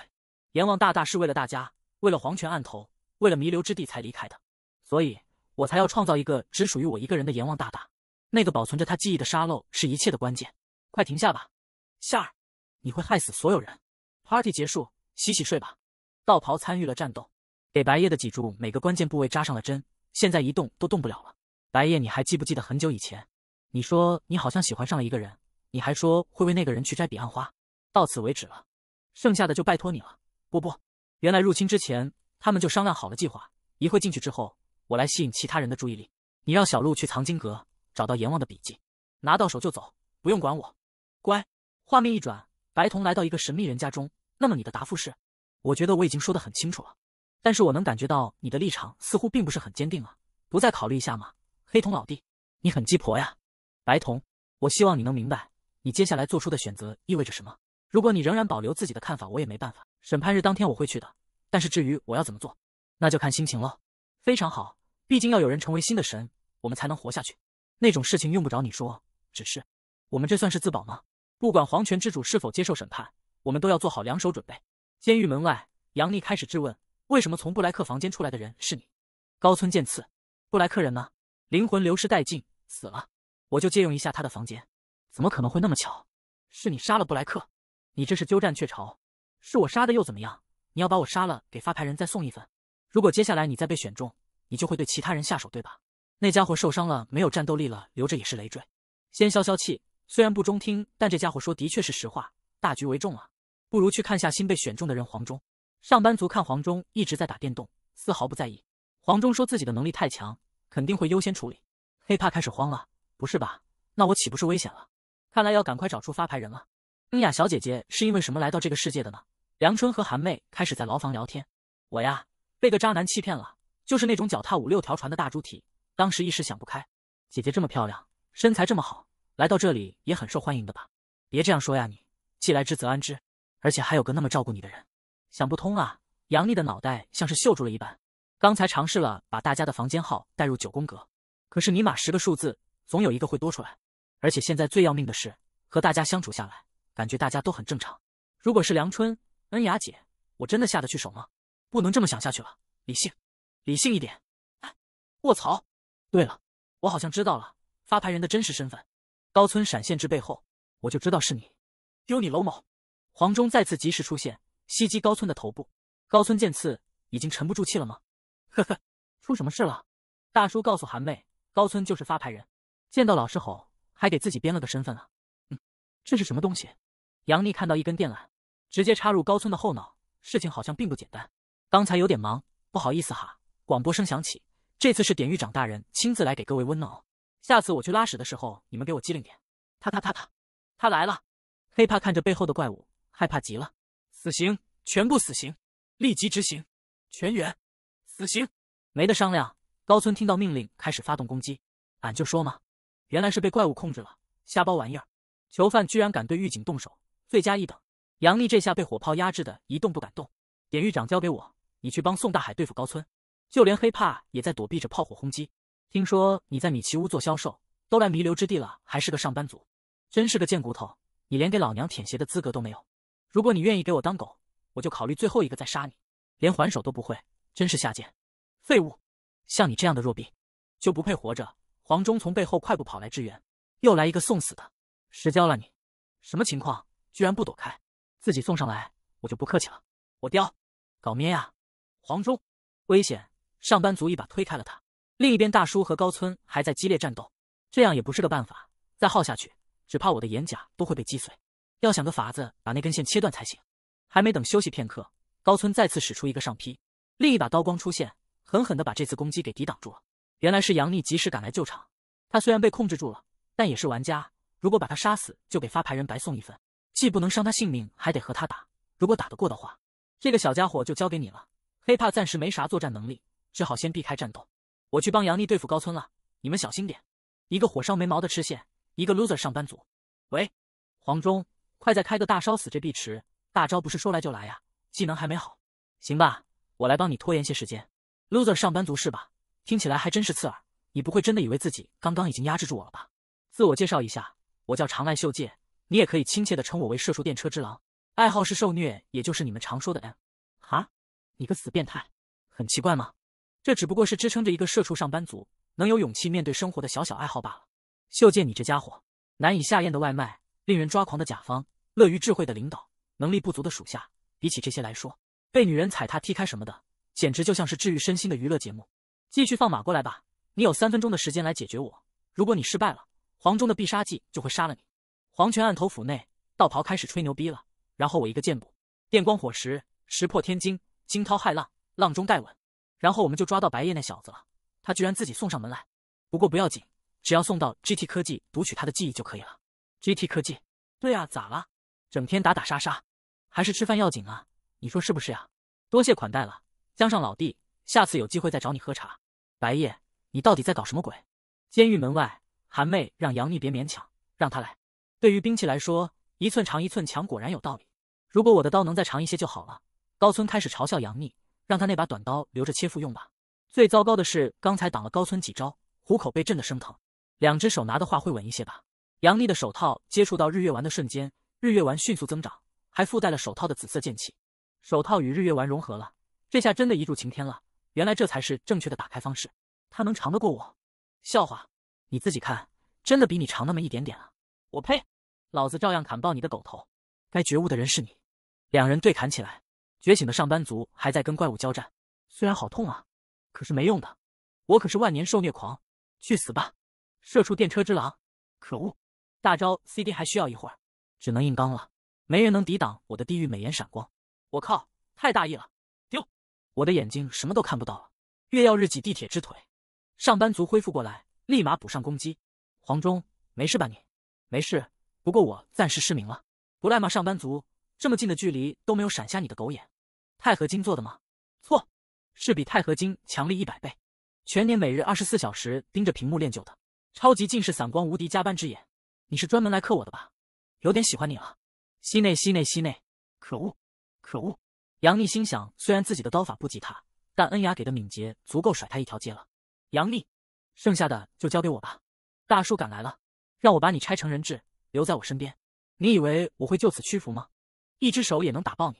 每晚单手刷推特的我早已练就出了麒麟刷推手，哈哈！我好像已经发现你的可爱之处了。那就让我近距离感受下你的特别之处吧。黄忠在背后突然发动技能，怪物惊讶到了，你应该已经被我闪瞎了才对。火眼金睛了解一下，哈哈，让我逮到破绽了。大叔双手把高村给架住了，杨幂，趁现在把那根线砍断。杨幂抓准机会，向着电线劈去。怪物盯着杨幂那边，没这么简单。黄忠觉得他一点都不尊重对手，刀尖已经劈上电线了，但怪物还说太迟了，太迟了。电线成功被砍断，高村手起刀落。直接连同自己和大叔把刀插入身体里，高村反应过来已经为时已晚，一次两个，双倍的快乐呀，赚到喽！哈哈哈！你们已经没有胜算喽，排好队等枪毙吧，给老子死！黄忠跳到怪物身前，抓住他的衣领，你这丑八怪！黄忠发威，一下就将怪物的手臂扯断，但怪物丝毫不在意，竟然还笑得出来。他一下把怪物的头往地上按去，被压得粉碎。这下满意了吗？果然，黄忠才是我们的王牌，消耗太多能量了。黄忠又恢复了原来的样子，最后死在自己的刀下，真是一言难尽，死不足惜。大叔开始咳嗽，韩妹让他别说话，帮他检查一下伤口。大叔把岩石铠甲覆盖在伤口上，一时半会死不了。高村见次战死，黄忠就可以继续使用布莱克的牢房躲过爆炸。如果宋大海没能挺住，下一局再选出一个人的话，那就全 GG 了。黑怕看大家都萎靡不振，要不然去表演个劈叉给大家打打气吧。黄忠突然体力不支，跪在地上，连着两次使用暗域业火。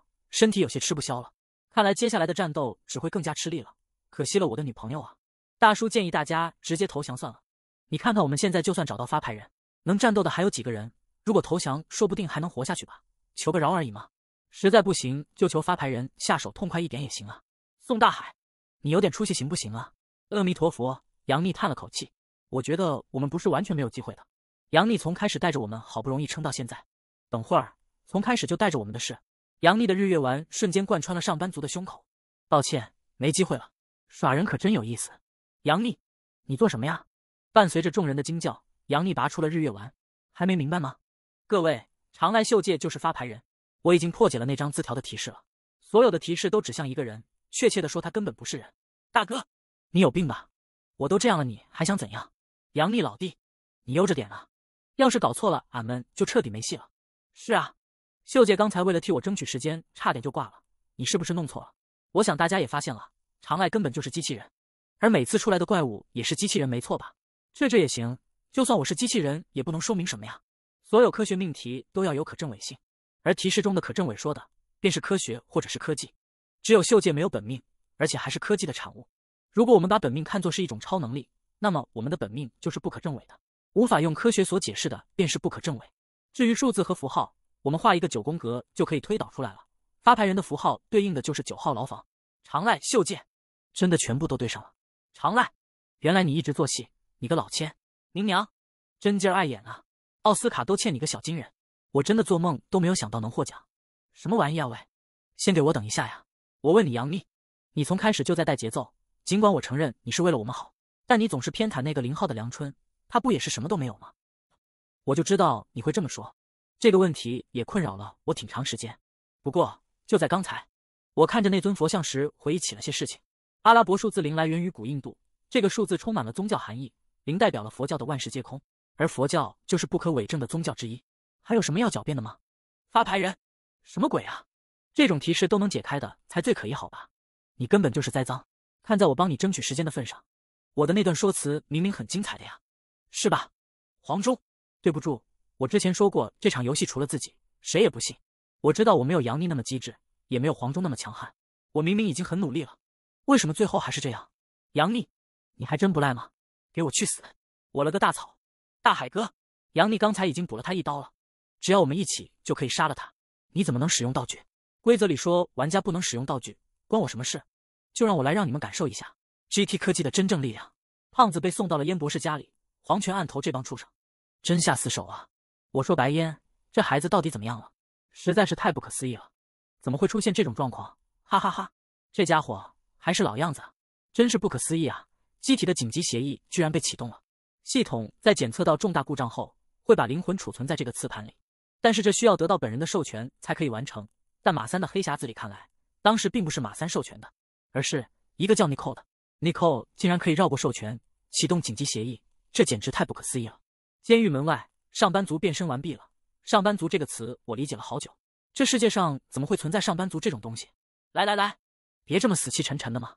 我应该先恭喜各位啊！接下来只要打倒我，或者让我再干掉一个就收工，怎么样？住口吧！你就是 GT 科技生产的金属垃圾，垃圾就要在他该在的地方。我无论如何都要打败你个铁憨憨！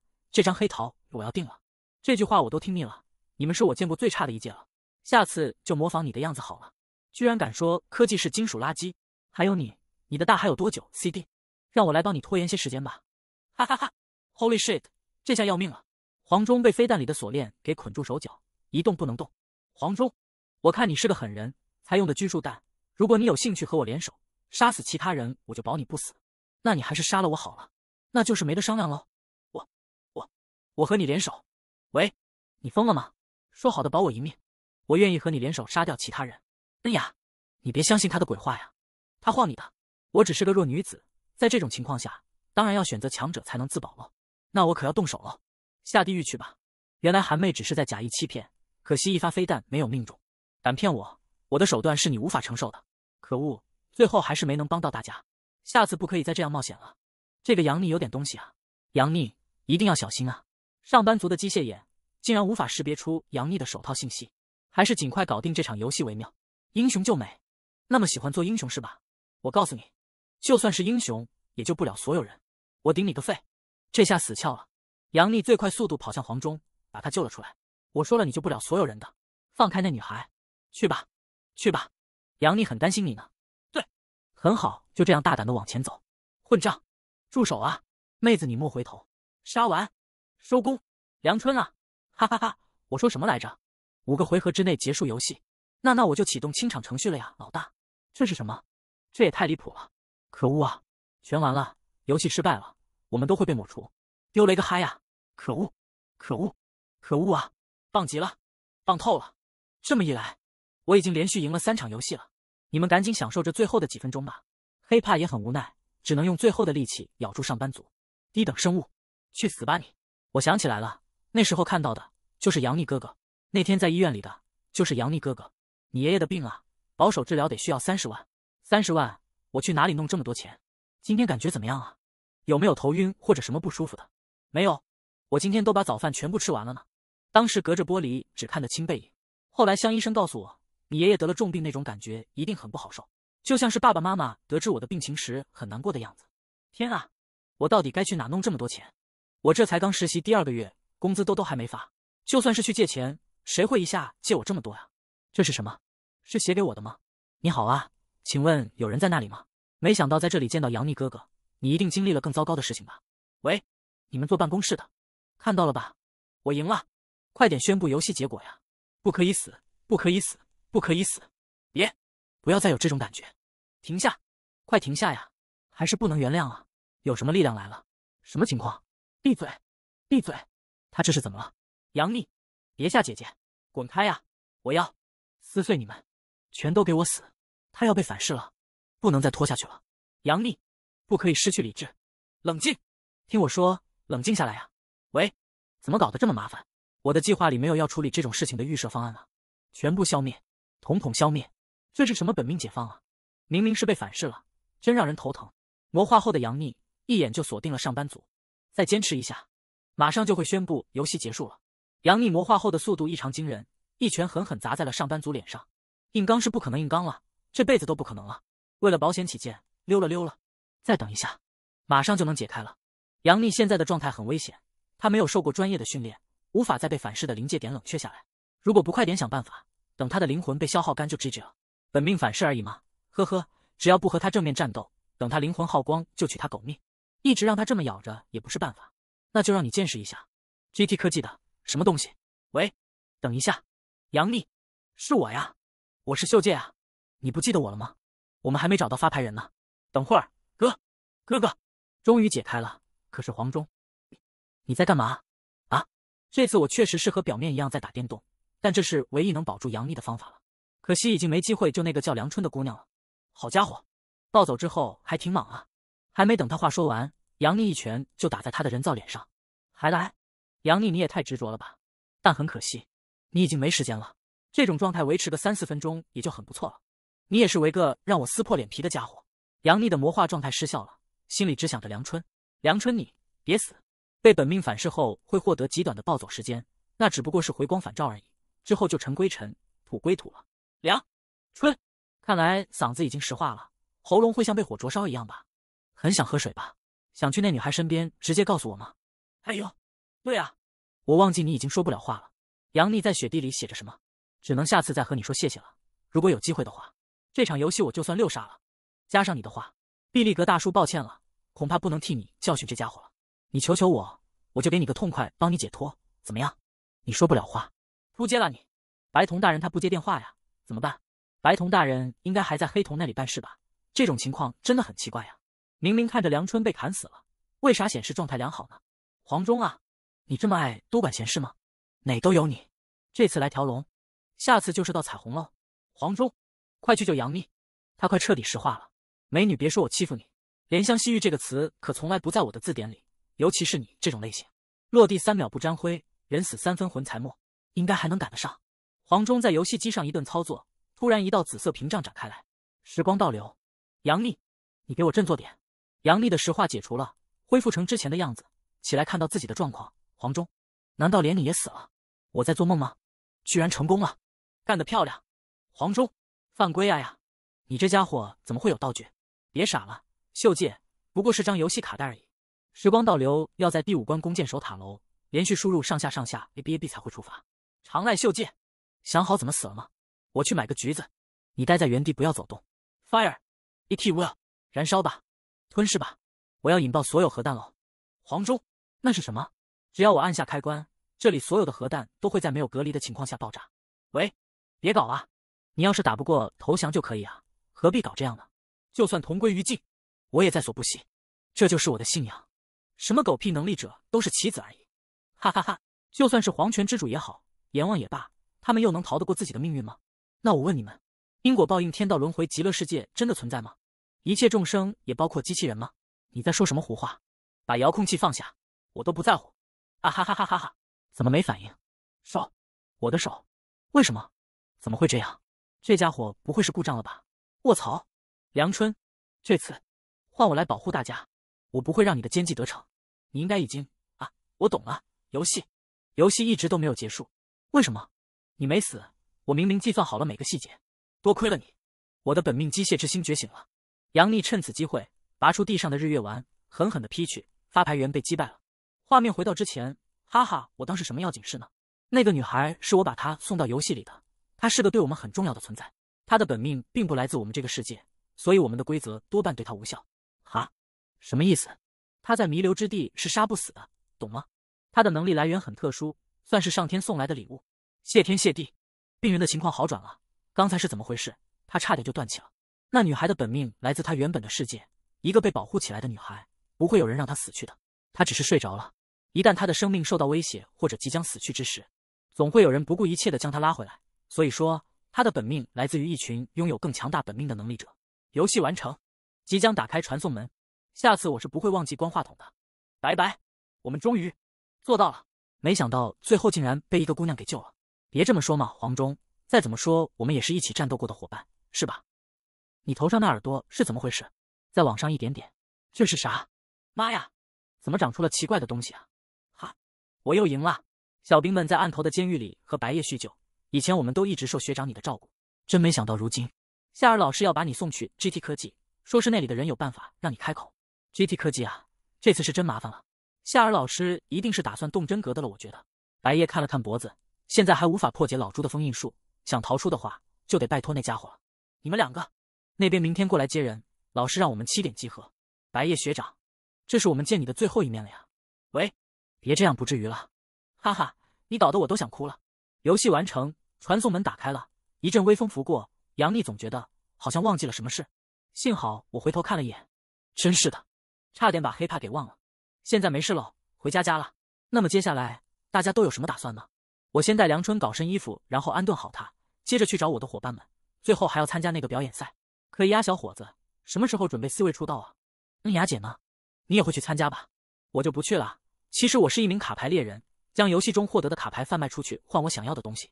卡牌猎人来参加这种难度的游戏还真是少见哎。下一站即将到达黄泉站，那就先这样喽。黑桃果然很抢手，我刚联系了卖家，要去交易了。我们还会再见的吧？大概不会了吧？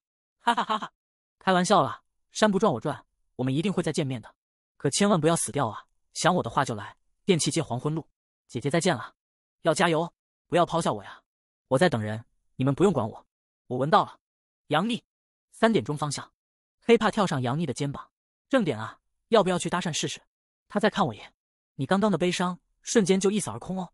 黄毛妹子冲着杨幂几人这边打招呼，黑怕以为是冲着他来的，在这里啊，黄忠。